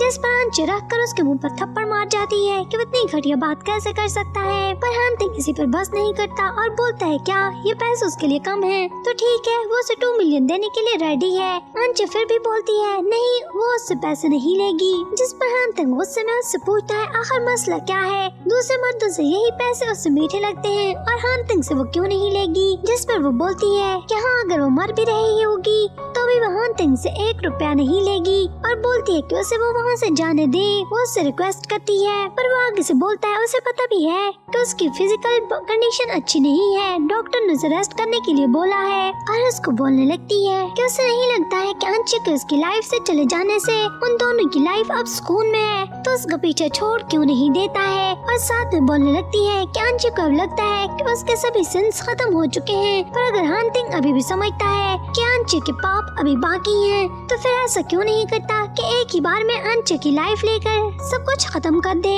जिस पर हंटिंग उस पर टॉन्ट करता है कि वो गार्ड फाइनली उसने माना कि सारे सिंस उसी ने किए थे। पर पहले तो कैसे मुँह फाड़ फाड़ कर बोला करती थी कि उसका कोई कसूर नहीं है और ये सब उसने नहीं किया है। जिस पर अंशु भी उसे जान छुड़वाने के लिए बोलती है कि हाँ ठीक है, अब वो मान रही है कि ये सब कुछ उसी ने किया था। तो वो ये सब कुछ डिजर्व करती है, पर हंटिंग उसको इस तरह से बोलते सुनकर तो शटअप बोल देता है कि वो फिर से उसके मुँह से ही सब कुछ न सुने और फिर उसको ज़बरदस्ती बेड पर गिरा देता है और साथ में उसको उसके फादर की धमकी देता है कि अगर उसकी बात नहीं मानेगी तो उसके पिता को वो नुकसान पहुंचाएगा, जिस पर अंशु फ़ौरन से पिघल जाती है और उसको रिक्वेस्ट करने लगती है कि ठीक है, वो उसके साथ जो भी करना चाहता है कर ले, पर उसके पिता को कुछ भी मत बोले।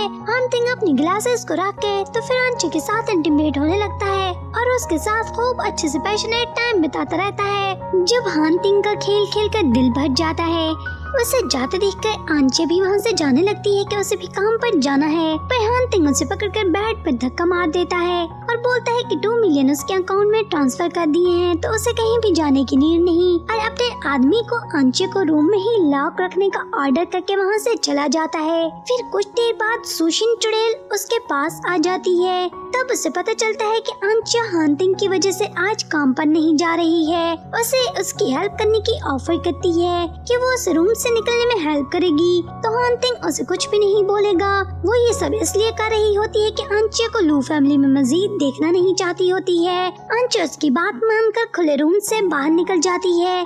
जब काम पर जाती है, वहाँ गेस्ट नहीं, बल्कि उसके पिता गेस्ट रूम में मिस्टर आन होते हैं, जिनको सुशन वहाँ पर लेकर आई होती है। उसे शौक लगता है कि पिता तो हॉस्पिटल के बजाय वहाँ क्या कर रहे हैं। अंकल आन उसे थपड़ा मारते हैं, साथ में कर्ज करने लगते हैं कि वो जानती भी है कि ये कितनी गंदी, घटिया जॉब है। तभी इनसे छुपा रही थी। वो जब भी उससे पूछते थे कि कहाँ गई है, और बोलते हैं कि शुक्र है इसकी मोम ये दिन और उसे इस हाल में देखने से पहले ही मर गई है।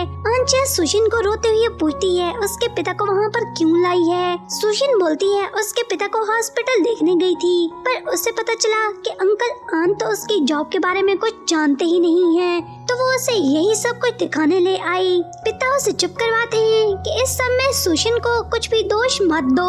अंशा उनको बताती है कि डॉक्टर की फ़ी भरने के लिए इसके पास इस जॉब के सिवा कोई चॉइस ही नहीं थी। पिता को उसे अपनी बेटी बोलते हुए भी शर्म आ रही थी। कि वो जो उस पर इतना ज़्यादा मान किया करते थे, वो क्या निकली एक नाइट क्लब की होस्टेस अगर इनको पता होता कि वो पैसे कैसे बनाकर ला रही है तो वो इन पैसों से इलाज करने के बजाय तो मरना लाइक करते, उसे खुद को छूने भी नहीं देते और धक्का मारकर गिरा देते हैं। फिर खुद उनको चेस्ट में पेन होने लगता है और पिताजी तो उसे खुद के करीब भी नहीं लगने दे रहे थे। आंची बहुत ही ज़्यादा उनके पास बैठकर रोने लगती है, फिर किसी न किसी तरह उनको हॉस्पिटल लेकर जाती है। सुशीन वहाँ पर भी इस पर टॉन्ट करने आ जाती है। इसे पिता की केयर करनी चाहिए। देखो उनकी हालत कितनी नाजुक है। अंचिया सब सुनकर उसके पास जाकर उसको थपड़ा मार जाती है। और बोलती है उसने उसे बोला था ना कि वो लोग जितना भी इसे बुली कर लें, मगर इसके पिता को टच भी मत करें। अगर उनको कुछ भी हुआ तो सुशिन को कच्चा चुपा जाएगी। फिर वो सुशिन को पूछती है कि नाइट क्लब क्या करने गई थी आखिर? सुशिन इस पर ही चढ़ दौड़ती है। उसने थोड़ी ना उसे वो वाली जॉब करने के लिए बोला था। वो जॉब खुद कर रही थी तो फिर अपने माता पिता को फेस करने के लिए भी रेडी रहा करे ना। अंशा उसे गले से पकड़कर अपना गुस्सा निकालने लगती है, पर अनफॉर्चुनेटली तभी हांतिंग वहाँ आकर अंशिया को सुशिन को बचाने के लिए धक्का मार कर दूर करता है। फिर सुशिन की केयर करने लगता है और पूछने लगता है, वो ठीक तो है ना? जो वो ड्रामेबाज बताती है कि वो ओके है। हंटिंग सीधा ही आंचे पर चढ़ दौड़ता है और पूछने लगता है, उसे घर पर लॉक किया था और उसे घर से बाहर निकलने के लिए मना किया था ना? तो वो यहाँ क्या कर रही है? जिस पर वो रोते हुए उसे बोलती है, हर समय उसे ही ब्लेम करता रहता है। जरा इस सामने बैठी चुड़ैल को भी तो पूछे ना आज उसने क्या किया है। फिर खुद ही बोलती है, नहीं पूछ कर भी कौन सा तीर मार लेगा? उसके लिए तो वही झूठी और वहशिया है, जिस पर वो गुस्से से पूछता है, क्या बके जा रही है? सुशन फ़ौरन से झूठ बोलने लगती है कि आज वो अंकल आम को देखने आई थी हॉस्पिटल में, मगर अचानक से उनकी हालत खराब हो गई है, जिसे लेकर आंचिया बहुत ही ज़्यादा इमोशनल हो गई है और ऑल फॉल बके जा रही है। तो वो अंचे को गुस्सा मत करे। तभी हांतिंग इसको पूछने लगता है अच्छा इसीलिए वो उससे पैसे मांग रही थी? वो बोलती है, ये उसका पर्सनल मैटर है, फ़िक्र न करे, वो पैसे खुद बना लेगी। उसको टोंट करता है। उसके अलावा किस मर्द के साथ सोकर पैसे बनाएगी, जिस पे वो भी सीधा ही आगे से बोलती है, किसी के साथ भी सोकर बना लेगी, मगर उसके पैसे कम से कम कभी भी यूज़ नहीं करेगी। तभी वो अपने आदमी जिम्मी को उसे घर ले जाने का बोलता है, पर वो जाने से इनकार कर देता है। बोलती है, पिता के उड़ने तक कहीं भी नहीं जाएगी जिस पर उसे फिर से धमकी लगाता है। अगर वो घर नहीं जाएगी, उसकी बात नहीं मानेगी तो फिर अपने पिता को कभी भी नहीं देख पाएगी, जिस पर पाँव पटाख कर वहाँ से चली जाती है। आंतिंग अब सुशिन को पूछता है। उसे अंकल आन के इल होने के बारे में पहले से पता था क्या? तो फ़ौरन से झूठ बोलती है। नहीं, सिर्फ़ ये पता था कि जेल से निकलने के बाद हॉस्पिटल में है। तो वो यही देखने के लिए चली आई। उसको पूछता है, अंशी को बाहर किसने निकाला? झूठ बोलती है कि उसके पिता गांजिया और आया मिस्टर जैंग ने। अंतिम विश्वास नहीं करता कि उनकी ये सब कुछ करने की हिम्मत नहीं है। कि उसके ऑर्डर को चैलेंज करें। फिर खुद ही बता देती है कि उसने बाहर निकालने के लिए बैग कर रही थी। तो उसने निकाल दिया। अंतिम को सुनकर सीधा ही पारा चढ़ जाता है कि उसे तो लू फैमिली में खड़ा करने की जगह दी, वो बैठने की क्या, लेटने की भी बना चुकी है। उसके फैसले के खिलाफ जाने की इजाज़त उसने उसे कभी नहीं दी। फिर उसे अपना फैसला सुनाता है कि अगर वो इतनी ही बड़ी हो गई है कि लू फैमिली के फैसले करने लग गई है तो हानतिंग ने इसके लिए ऑलरेडी एक घर सर्च कर लिया है। तो वो लोग कल लू फैमिली से वहाँ पर मूव कर रहे हैं। जिसे सुनकर तो वो उसको रिक्वेस्ट करने लगती है, उसे खुद से दूर न करे। मगर वो इसकी एक भी नहीं सुनता है कि उससे दोबारा ये बात न बोलनी पड़े। और वो पीछे से ऐसे ही चीखती चिल्लाती रह जाती है कि हानतिंग उसके साथ ऐसा नहीं कर सकता है। हानतिंग किसी को कॉल करके अंकल आन के सर्जरी के सभी एक्सपेंसेस पता करके लू ग्रुप की तरफ़ से उनको पे कर देने का ऑर्डर करता है। आंचिया को घर ले जाकर फिर से कैच रूम में बंद कर दिया जाता है। वही तभी उसे हॉस्पिटल की तरफ़ से उसके पिता के बिल्स भरने के लिए एक मैसेज दिखता है। जिम्मी को उसे बाहर निकालने के लिए रिक्वेस्ट करने लगती है। उसका हॉस्पिटल जाना बहुत ज़रूरी है। तब जिम्मी उसे बताता है हांतिंग की तरफ़ से सभी बिल्स पे हो चुके हैं तो उसे फ़िक्र करने की नीड नहीं है। उसके कुछ देर बाद मिसेस जैंग उसे आकर बताती है कि वो बाहर निकल रही है, उनकी तरफ़ से फ्री है। और साथ में हांतिंग ने उसे बोला है कि उसे नाइट क्लब में बैन कर दिया गया है। वो कहीं पर भी जॉब के लिए मत जाए और खास कर हुआंग तिंग कलम में भी उसे जाने की कोशिश नहीं करनी चाहिए। इसके बाद वो सीधी हॉस्पिटल अपने पिता को देखने जाती है, मगर उसके पिता वहाँ नहीं थे।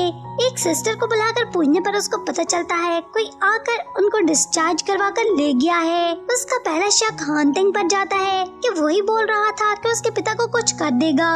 उधर हानतिंग गंजिया को बुलाकर पूछता है, वो लोग वहाँ से जा रहे हैं तो अपना सामान पैक कर लिया है क्या? गंजिया इतने दिनों तक लू फैमिली में उनकी केयर करते रहने पर हंटिंग को थैंक्स करता रहता है। हंटिंग स्विमिंग पूल को देखकर गांजे को उसे क्लीन करवाने का ऑर्डर करता है कि सुशिन तो अब स्विमिंग नहीं कर सकती है तो पूल किस काम का आखिर गांजे सुनकर दान निकालने लगता है कि सरकार सुशिन की लेग्स ठीक भी होती तो भी वो कौन सा स्विम कर सकती है? हंटिंग तो उसकी बात सुनकर सरप्राइज़ से रह जाता है, क्या वो स्विम नहीं कर सकती है? गंजे फिर बोलता है, सरकार बचपन में उसने खट्टू को स्विमिंग क्लासेस लेने के लिए छोड़ता था, पर वो तो नवल नॉवल पढ़ने लग जाया करती थी। हंटिंग कुछ भी बोले बिना भाग कर सीधा अपने रूम में जाता है और ड्रॉर में देखने लगता है कि चाइल्डहुड में डूबते हुए उसने किसका नेकलेस तोड़ा था आखिर। फिर याद करता है कि पूल में डूबने के बाद जब उसकी आँख खुली थी, सूची नहीं तो इसके पास थी। उसने जब इसको नेकलेस दिखाया था और इसके नेकलेस को तोड़ने पर उससे सॉरी करी थी। तो सुशिन ने तो नहीं कहा था कि ये उसका नहीं है,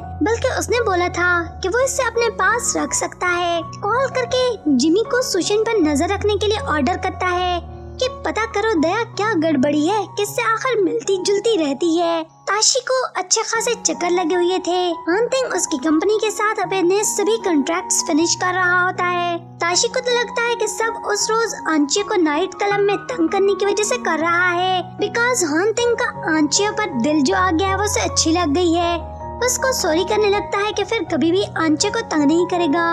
मगर हानतिंग उसको पूछता है जब वो जानता है कि मिस्टर जैंग और हानतिंग एक दूसरे के राइवल हैं, तो फिर उसे उसके नाइट क्लब में ले जाकर आंची को उसके पास क्यों भेजा था? ताशी बताता है वो हानतिंग का फ्रेंड है वो सब कैसे कर सकता है? ये सब तो उस सुशिन चुचिन का प्लान था जिसे सुनते साथ ही हानतिंग को शौक लगता है कि सुशिन को तो वो एंजल समझे बैठा था मगर ये तो कुछ और ही निकल रही है। जिस पत्थर को खोल रहा है, अब तो सुशिन का एक एक कन्नामा बाहर मुँह फाड़ फाड़ कर उसका मुँह चढ़ा रहा है। फिर तभी वहाँ से जाते हुए अपनी कंपनी से बाहर निकलते गार्ड को पूछता है, ये शोर कैसा है? वो आकर बताने लगते हैं, सरकार बाहर कोई गर्ल आकर खुद को उसकी पत्नी बताकर अंदर आने की ज़बरदस्ती कोशिश कर रही थी। तो इन लोगों ने उसे वहाँ से निकालने की बहुत कोशिश की है। बहुत धक्के मारे हैं, पर वो जान ही नहीं छोड़ रही है। तभी वो जाकर देखता है, वो तो आंचिया है। तो गार्ड को डांटता है, उनकी किसी को भी कंपनी के बाहर ऐसे इंसल्ट करने की हिम्मत कैसे हुई?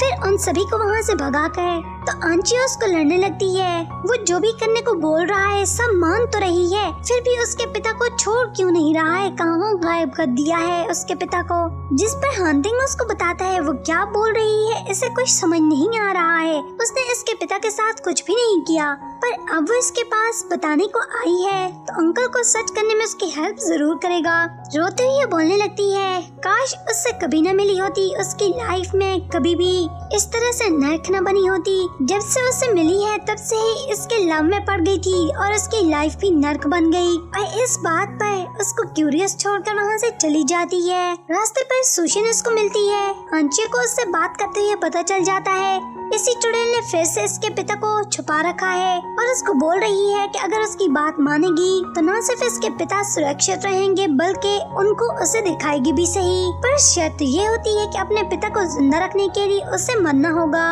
अंचे को यूँ रोज सालों से टॉर्चर करवा करवा कर वो थक चुकी है। बोलती है, उसे इस सबसे कुछ नहीं मिल रहा है। अगर वो ज़िंदा रही तो हानतिंग कभी भी सुशन की तरफ़ नहीं देखेगा।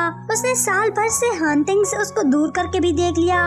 मगर अब मरेगी तो तभी इसकी जान छूटेगी। हंटिंग सुशिन के पास पलट आएगा। अंशी को प्रॉमिस करने लगती है, उसके मरने के बाद पक्का शपथ लेती है कि उसके पिता की टेक केयर करेगी। उसे उसके पिता से कुछ भी लेना देना नहीं है, उसकी प्रॉब्लम सिर्फ़ अंशिया है। अंशिया उसकी बात मान जाती है। हंटिंग अंचे के ओल्ड घर को देखने जाता है अंकल आन को सर्च करने के लिए।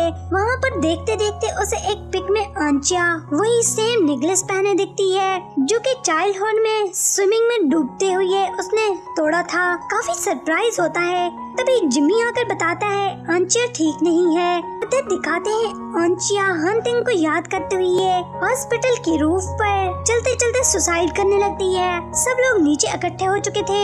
हंटिंग भी वहाँ पर आ जाता है सभी लोगों के साथ नीचे से उसे ये सब न करने के लिए आवाज़ें लगाता रहता है। पर उसको टस से मस न होते देखकर भागा भागा ऊपर उसके पास रूफ पर पहुँच जाता है। अंशु को ये सब कुछ रोकने के लिए आवाज़ें लगाता रहता है कि उसका ऑर्डर है, नीचे आ जाए। रोते हुए मुड़कर उसकी तरफ़ बोलती है, अब तक उसने उसे अपना गुलाम ही तो बनाए रखा, उस पर ऑर्डर ही तो चलाता रहा है। मगर अब वह सबसे पीछे छुड़ाने जा रही है। उसको बोलता है, अगर उसे कुछ कहना ही है तो पहले नीचे आकर बात करे, मगर वो बोलती है, उसे पता है उसकी बात का विश्वास नहीं करेगा। वो बोलता है, पक्का करेगा, पहले नीचे तो आए। पर वो बोलती है, वो सब ठीक थे, उसने ही सुशिन को हट किया। उसके माता पिता को मारा। वो पापी है। इसको नरक में ही जलना चाहिए। अंतिम को इसको ये सभी बकवास बंद करके नीचे उतरने का कहता है। मगर उसकी कोई भी बात सुने बिना रूफ से नीचे छलांग लगा देती है। अंतिम हाथ पाँव मलता ही रह जाता है। रोते हुए भाग कर नीचे जाता है। मगर बहुत देर हो चुकी थी। उसको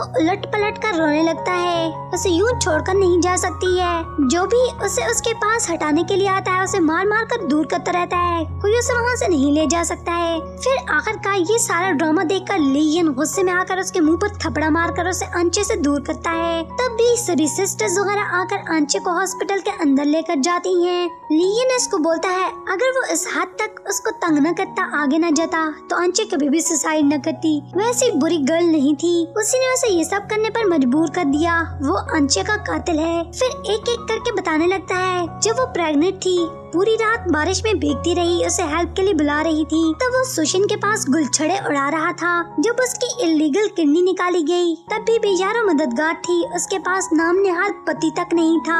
लीगिन बोलता है, तुमने इसे किसी भी चीज़ में सुकून देने के बजाय इसकी लाइफ को वैसे भी नर्क ही बना रखा था। अब लीन की सभी बातें सुनकर उसे विश्वास आता है अच्छा तो वो सच में प्रेग्नेंट थी, झूठ नहीं बोल रही थी? और वहीं पर रोने लग जाता है। लियन बोलता है, वो इस जैसी अच्छी लड़की को कभी डिजर्व ही नहीं करता था। इसकी जगह इस पापी को मर जाना चाहिए था और फिर उसको वार्न करता है कि अपने गंदे हाथों से उसे कभी टच नहीं करने देगा। वो उसका, अगर वो मर गई तो उसका खुद सारा कार्यक्रम करेगा। वो वहीं पर रोता बैठा रह जाता है, जब घर आंचे के चले जाने का शोक कर रहा होता है। जिम्मी आकर इस सुशिन के सेल का डेटा दिखाता है कि वैसे तो वो सभी कुछ डिलीट करवा चुकी है, पर जिम्मी ने सभी एफर्ट्स लगाकर तो ये सब कुछ निकलवा लिया है। और बताता है जिस ईयर हानतिंग के माता पिता की डेथ हुई, सुशिन ने किसी अननोन नंबर से बहुत दफ़ा बात की थी। जिम्मी बताता है जिस रात कार का एक्सीडेंट हुआ, उससे एक दिन पहले सुशिन ने उसी अननोन नंबर पर ढेरों कॉल्स की जिनको चेक करने पर इसको पता चला है, उसने हानतिंग के माता पिता को मारने की सुपारी दी थी। हानतिंग सुशिन का इलाज करवाने वाले डॉक्टर को वहाँ पर लाने का बोलता है। जब उसे वहाँ पर लाया जाता है थोड़ी सी उसको बंगाली फक्की खिलाने पर, वो सबका सब कुछ उगल देता है कि जब एक्सीडेंट हुआ सुशिन को कुछ चोटें लगी थी, वो दो माह कोमे में भी रही। मगर उसके बाद गंजिया और सुशिन ने थ्री ईयर तक डॉक्टर के साथ मिलकर ये नाटक खेलने के लिए इस डॉक्टर को अच्छे खासे पैसे खिलाए। वरना सुशिन की टांगे तो कभी पैरालाइज थी ही नहीं। वो कोमा से निकलते ही चल सकती थी। अंतिम इस डॉक्टर को इतने अरसे तक इस ड्रामे को रचाने के लिए पनिश करता है और खूब मारता पीटता रहता है। फिर सुशिन को कॉल करने के लिए, मिलने के लिए घर पर बुलाता है कि उसे मिस कर रहा है। वो भी सुनकर भागी भागी चली आती है कि हंटिंग उसे मिस कर रहा है। आते साथ ही पूछती है अंचे कहाँ है? वो बोलता है, मर चुकी है। ड्रामा करती है, दो दिन पहले तो बिल्कुल ठीक थी। अचानक क्या हुआ उसे? हंटिंग पूछता है, सच में तुझे कुछ पता नहीं है? तो इतनी चुन्नी मुन्नी काकी है, उसने सुसाइड कर लिया।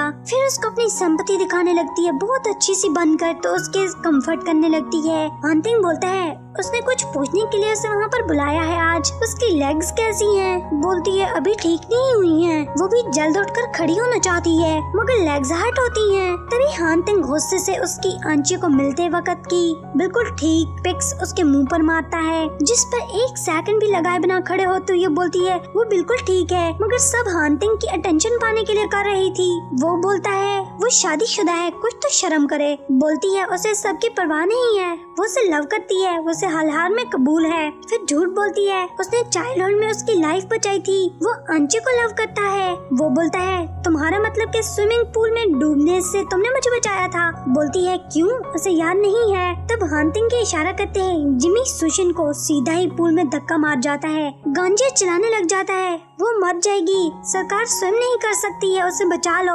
हांतिंग उसको टोंट करता है। अभी तो वो बोल रही थी कि उसने उसे चाइल्डहुड में बचाया था और अब वो बोल रहा है कि स्वयं नहीं करना आता है। तो फिर उसने उसे कैसे बचाया था? गंजिया पकड़ा जाता है। चिच चिच अपनी ज़ुबान को काटता रह जाता है। फिर सुशिन को बाहर निकाल लेते हैं। हांतिंग उसको वार्न करता है, बहुत ही बेशरम लड़की है। जो कुछ किया तो किया, पर साथ में ठिठाई से उस सबको एक्सेप्ट भी कर रही है। फिर उससे पूछने लगता है मे भी कुछ और रह गया उसका बताने को तो फ़ौरन से इनकार करती है। नहीं नहीं, बस यही था और कुछ नहीं छुपा रही है। वो बोलता है अच्छे से सोच लो। पहले भी तुम ठीक थी। तुमने ड्रामा किया। इसे फजूल में बक बक करते देखकर जिम्मी को उसकी टांगे तोड़ने का ऑर्डर करता है कि ये फिर कभी चल न पाए। जिस पर सुशन फ़ौरन से बोलती है हांतिंग उसके साथ ये सब नहीं कर सकता है। हांतिंग बोलता है, सच ही बोल रही है। वो ये सब उसके साथ नहीं कर सकता है। तभी उसने ये सब कुछ किया। अंशी को मार डाला। उसको फिर से एक लास्ट चांस देता है कि जितने पाप कर चुकी है, सभी के सभी एक एक करके उगल दे। मगर वो बहुत ही ढीठ होती है, बोलती है उसने सब हांतिंग को। लव में उसे पाने के लिए सब किया। हांतिंग उसे सिर्फ़ इसलिए लव नहीं करता, न कि आंचिया हांतिंग की तरह एक अच्छी फैमिली आन फैमिली में पैदा हुई। मगर सुशन उसकी नौकर की बेटी है, उसके बराबर की नहीं है। हांतिंग उसका इस सबसे बोलता है, कुछ लेना देना नहीं है। वो उसे लाइक नहीं करता है तो मतलब नहीं करता है। अगर वो किसी बड़ी फैमिली की बेटी होती, तब भी उसे लाइक न करता। और अंशी के बराबर तो कभी हो भी नहीं सकती है। गांजिया उसको बैक करने लगता है। सुशिन की कोई गलती नहीं है। वो छोटी है, उससे मिस्टेक हो गई। हांतिंग सुशिन को जो भी सजा देना चाहता है गांजिया को दे दे। वो इसकी हर सजा भुगतने को रेडी है। मगर सुशिन को जाने दे। हांतिंग बोलता है, तू भी इसका साथी था सब में। फ़िक्र न कर, छोड़ूँगा तुझे भी नहीं। दोनों बाप बेटी ने मिलकर पाप किए तो सजा भी साथ में भुगतोगे। फिर हांतिंग सुशिन की टांगे तोड़वा कर उसे सिसकते बिलकते देख कर मज़े लेता रहता है। वो उसी कैद में बंद होती है और उसको बताता रहता आज अंशी का सेवन डे है। हांतिंग की लाइफ से गए हुए, उसको बताता है, उसने अंशी की किडनी निकलवाई, उसके बेबी को मरवाया, जिम्मी को ऑर्डर करता है। सुशिन की एक किडनी उसी तरह से बाहर निकाल दे और उसकी एक ओवरी को भी निकाल दे, ताकि वो फिर कभी माँ न बन सके। सुशिन उसको जाते देखकर पीछे से चीखती चिल्लाती रह जाती है। वो उसके साथ ये सब नहीं कर सकता है। और पीछे से बोलती है अंचे पर ट्रस्ट करता तो सब कभी न होता। बेशक सुशिन ये सब कुछ करती भी रहती। पहले अपने गले में भी जरा झांके।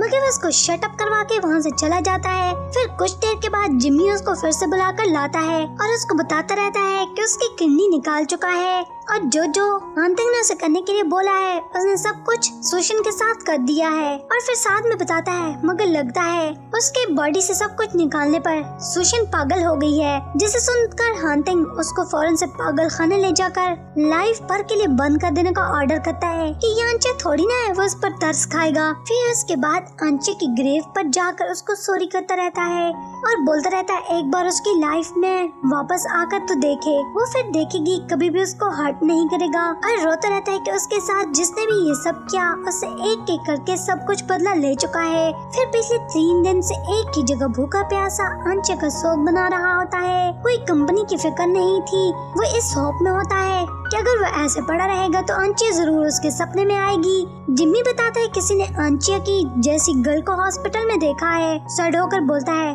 कौन सा आंचिया खुद है? आंचिया के जैसे दिखती है ना? फिर जिम्मी तभी उसको उसकी पिक दिखाता है। शौक सौट कर उसे फ़ौरन से हॉस्पिटल ले जाने के लिए कहता है। वहाँ भागा भागा जाकर आंचिया उसे काउंटर पर मिल जाती है। उसे कुछ याद नहीं होता है। इसे अंदर डॉक्टर के पास भेजने लगती है। फिर सामने हैरान होकर पूछती है, पर उसका नाम कैसे जानता है? लियन तभी बाहर आ जाता है। दोनों को देखकर चौंकते पाकर वो लियन के कान में बोलती है, ये उसका फ्रेंड बहुत अजीब है। लियन को हंटिंग बोल रही होती है। हंटिंग शौक में पूछता है, चल क्या रहा है? वो लीयन है। हंटिंग मैं हूँ। अंशु को याद करवाने की कोशिश करता है। तभी लीयन उसे अंदर ले जाता है, फिर बता देता है गिरने से उसकी मेमोरी चली गई है। होश में आते साथ ही सिर्फ़ हंटिंग हंटिंग का नाम लेकर चीखे जा रही थी। और उसने लीयन को ही हंटिंग बोलना स्टार्ट कर दिया। लीयन उसे इसकी दर्द भरी लाइफ याद करवाना भी नहीं चाहता है। हंटिंग को गुस्सा आने लगता है। वो इसकी आइडेंटिटी को यूज़ कर रहा है। लीन को कोई शर्मिंदगी नहीं थी। हम पता है कि हंटिंग को अंचे की लाइफ नर्क बनाते उसे मौत के घाट उतारते शर्म न आई। तो वो सिर्फ़ अंचे को मजीद तकलीफ़ बचाने से ये सब कर रहा है। पूछता है हंटिंग कमीने, तुझ में ऐसा खास क्या है? अंचे तुझ पर मर मिटी। बोलता है, ये तो वो भी नहीं जानता है। लीन को अंचे के लिए सैड होते देखकर हंटिंग बोलता है, वो अपने सभी गुजरे ईयर और अंचे को दी गई सभी तकलीफों की डबल भरपाई करेगा। पर अंचे के पास जाकर फिर उसे याद करवाने लगता है। बोलता है, जिस हंटिंग को वो सर्च कर रही है, वो वो है, उसका पति है, अंदर लीजन है, घर उसको ले जाने लगता है। अंचे बोलती है, एक और बार भी उसने उसे तंग किया, वो चीख चीख कर सबको इकट्ठा कर लेगी। वो उसे नहीं जानती है। उसको क्लोज होकर आँखों में दिखा कर याद करने लगता है, वो उसका पति है। अंचे की चिखती चलाती आवाज़ पर लीजन आकर उसे दूर करता है। अंधे हो, उसे कुछ याद नहीं है, तंग क्यों कर रहे हो? उसको फिर भी बताने लगता है। उसका पति है यार, आंचे को सर पकड़े देखकर लीयन इसको सब स्टॉप करने को बोलता है, उसे अंचे को तकलीफ़ देकर आखिर क्या मिलता है? अंचे लियन को पूछने लगती है। हंटिंग तो वो है, फिर वो इसको क्यों हंटिंग बोल रहा है आखिर? तभी वो बेहोश हो जाती है। हंटिंग उसको बाह में लेकर लियन को बोलता है। वो इसे हमेशा से हेट करता था। मगर उसने जितनी अंचे की केयर की है ना, उसके लिए उसका थैंकफुल है। और जल्द किसी को भेज कर बहुत सारी रकम लीयन को उसकी कंपनसेशन के तौर पर देगा। घर ले जाकर अंचे को केयर करता है। वो पूछती, आखिर कौन है? बताने लगता है। वही हंटिंग जिससे वो कभी बचपन में खेलने आया करती थी और उसके लव में पड़ गई थी। हंटिंग हंटिंग बोलकर पीछे भागती रहती थी सारा दिन। बोलती है, कुछ सुना सुना, जाना जाना लग रहा है, मगर उसे कुछ याद नहीं है। उसे उसकी आँखों में देखकर याद करवाने लगता है। फिर बोलता है, देखो, उसका पति है। अंचे का सर दर्द करने लगता है, उसको किस करता है? अब याद आया, उसको बोलता है जो कुछ उसके साथ कर चुका है, सारी लाइफ उसकी भरपाई करता रहा है।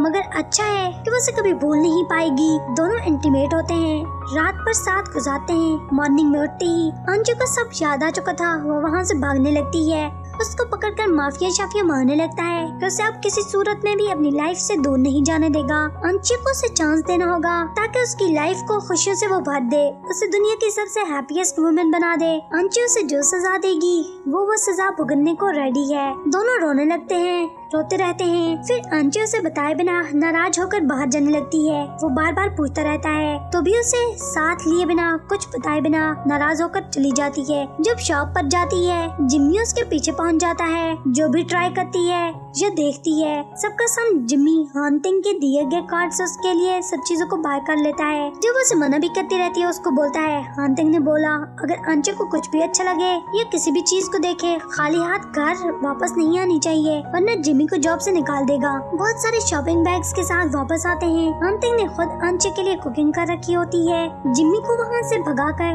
दोनों खाने पर बैठते हैं। उसने सब अंचे का फेवरेट बनाया था। मगर उसे किडनी में पेन होने लगता है। हॉस्पिटल लेकर जाता है। डॉक्टर बताता है उसकी इलीगल सर्जरी करने पर किडनी में इन्फेक्शन हो गया है। तो किसी और की किडनी डोनेट करनी होगी। अंतिम फ़ौरन बोलता है, उसकी किडनी निकाल ले। फिर उसकी किडनी अंचे को लगा दी जाती है। अंतिम बहुत हैप्पी था। अंचे के लिए कुछ कर पाया।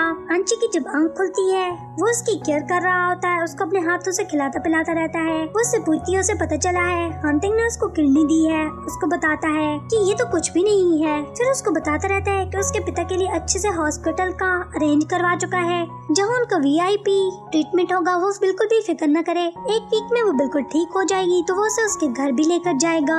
जो साथ में सो रहे होते हैं। गंजी हुंडा वहाँ सुशिन की सब हालत का बदला लेने अंजे को मारकर आता है। अंतिक की आँख खुल जाती है। गंजी की उसकी फाइट होने लगती है बहुत जोरों की। शोर से अंजे की आँख खुलती है, मगर तब तक देरी हो चुकी थी। गंजिया हंटिंग को नाइफ मार चुका था। अंचे की शोर करके सबको बुला लेती है। हंटिंग उसको ऐसे वरीड और केयर करते देखकर पूछता है, उसे इतना चाहती है क्या सच में? कि तकलीफ़ में नहीं देख सकती है? उसको शटअप करती है। ये सब बोलने का समय थोड़ी ना है। उसको मरते मज़ाक सूझ रहा है। एक वीक के बाद डॉक्टर आकर बताता है, वो रिकवर कर चुका है। किसी भी समय घर जा सकता है। अंतिम अंशे को उसकी केयर करते देख डॉक्टर को मज़ाक करता है। डॉक्टर कुछ दिन और इधर रहने नहीं दोगे? पत्नी की इतनी केयर करने को मिल रही है। डॉक्टर भी एक नंबर होता है। बोलता है, घर जाओ। उधर और भी बहुत कुछ करने को मिलेगा, बहुत मज़े मिलने वाले हैं। फिर अंचे को पूछता है, उससे नाराज़ तो नहीं है ना? बोलती है, पेशेंट से कौन नाराज़ रहता है? फिर उसे बार बार छेड़कर तंग करता रहता है। अंचे को कैंडल लाइट डिनर पर बुलाकर उसको फिर कभी हर्ट न करने का प्रॉमिस करने लगता है और उसको रिप्रपोज करता है। वो मान जाती है, उसको रिंग पहनाता रहता है। एक दूसरे को गले मिलते रहते हैं। दोनों की री मैरिज होती है। सब गेस्ट के सामने एक दूसरे को एक्सेप्ट करते हैं। सबकी क्लैपिंग में और सबके प्रेजेंस में, दोनों एक दूसरे को जन्म जन्म जन्मों के लिए एक दूसरे के साथ साथी बनाकर किसा किसी करके सब लोगों को अपने अपने घर भेज ही देते हैं with happy happy ending story अगर आप लोगों को अच्छी लगी हो तो अच्छे अच्छे कमेंट करके बता देना। फिर मिलेंगे नेक्स्ट बहुत ही अच्छी सी स्टोरी के साथ। Thanks for watching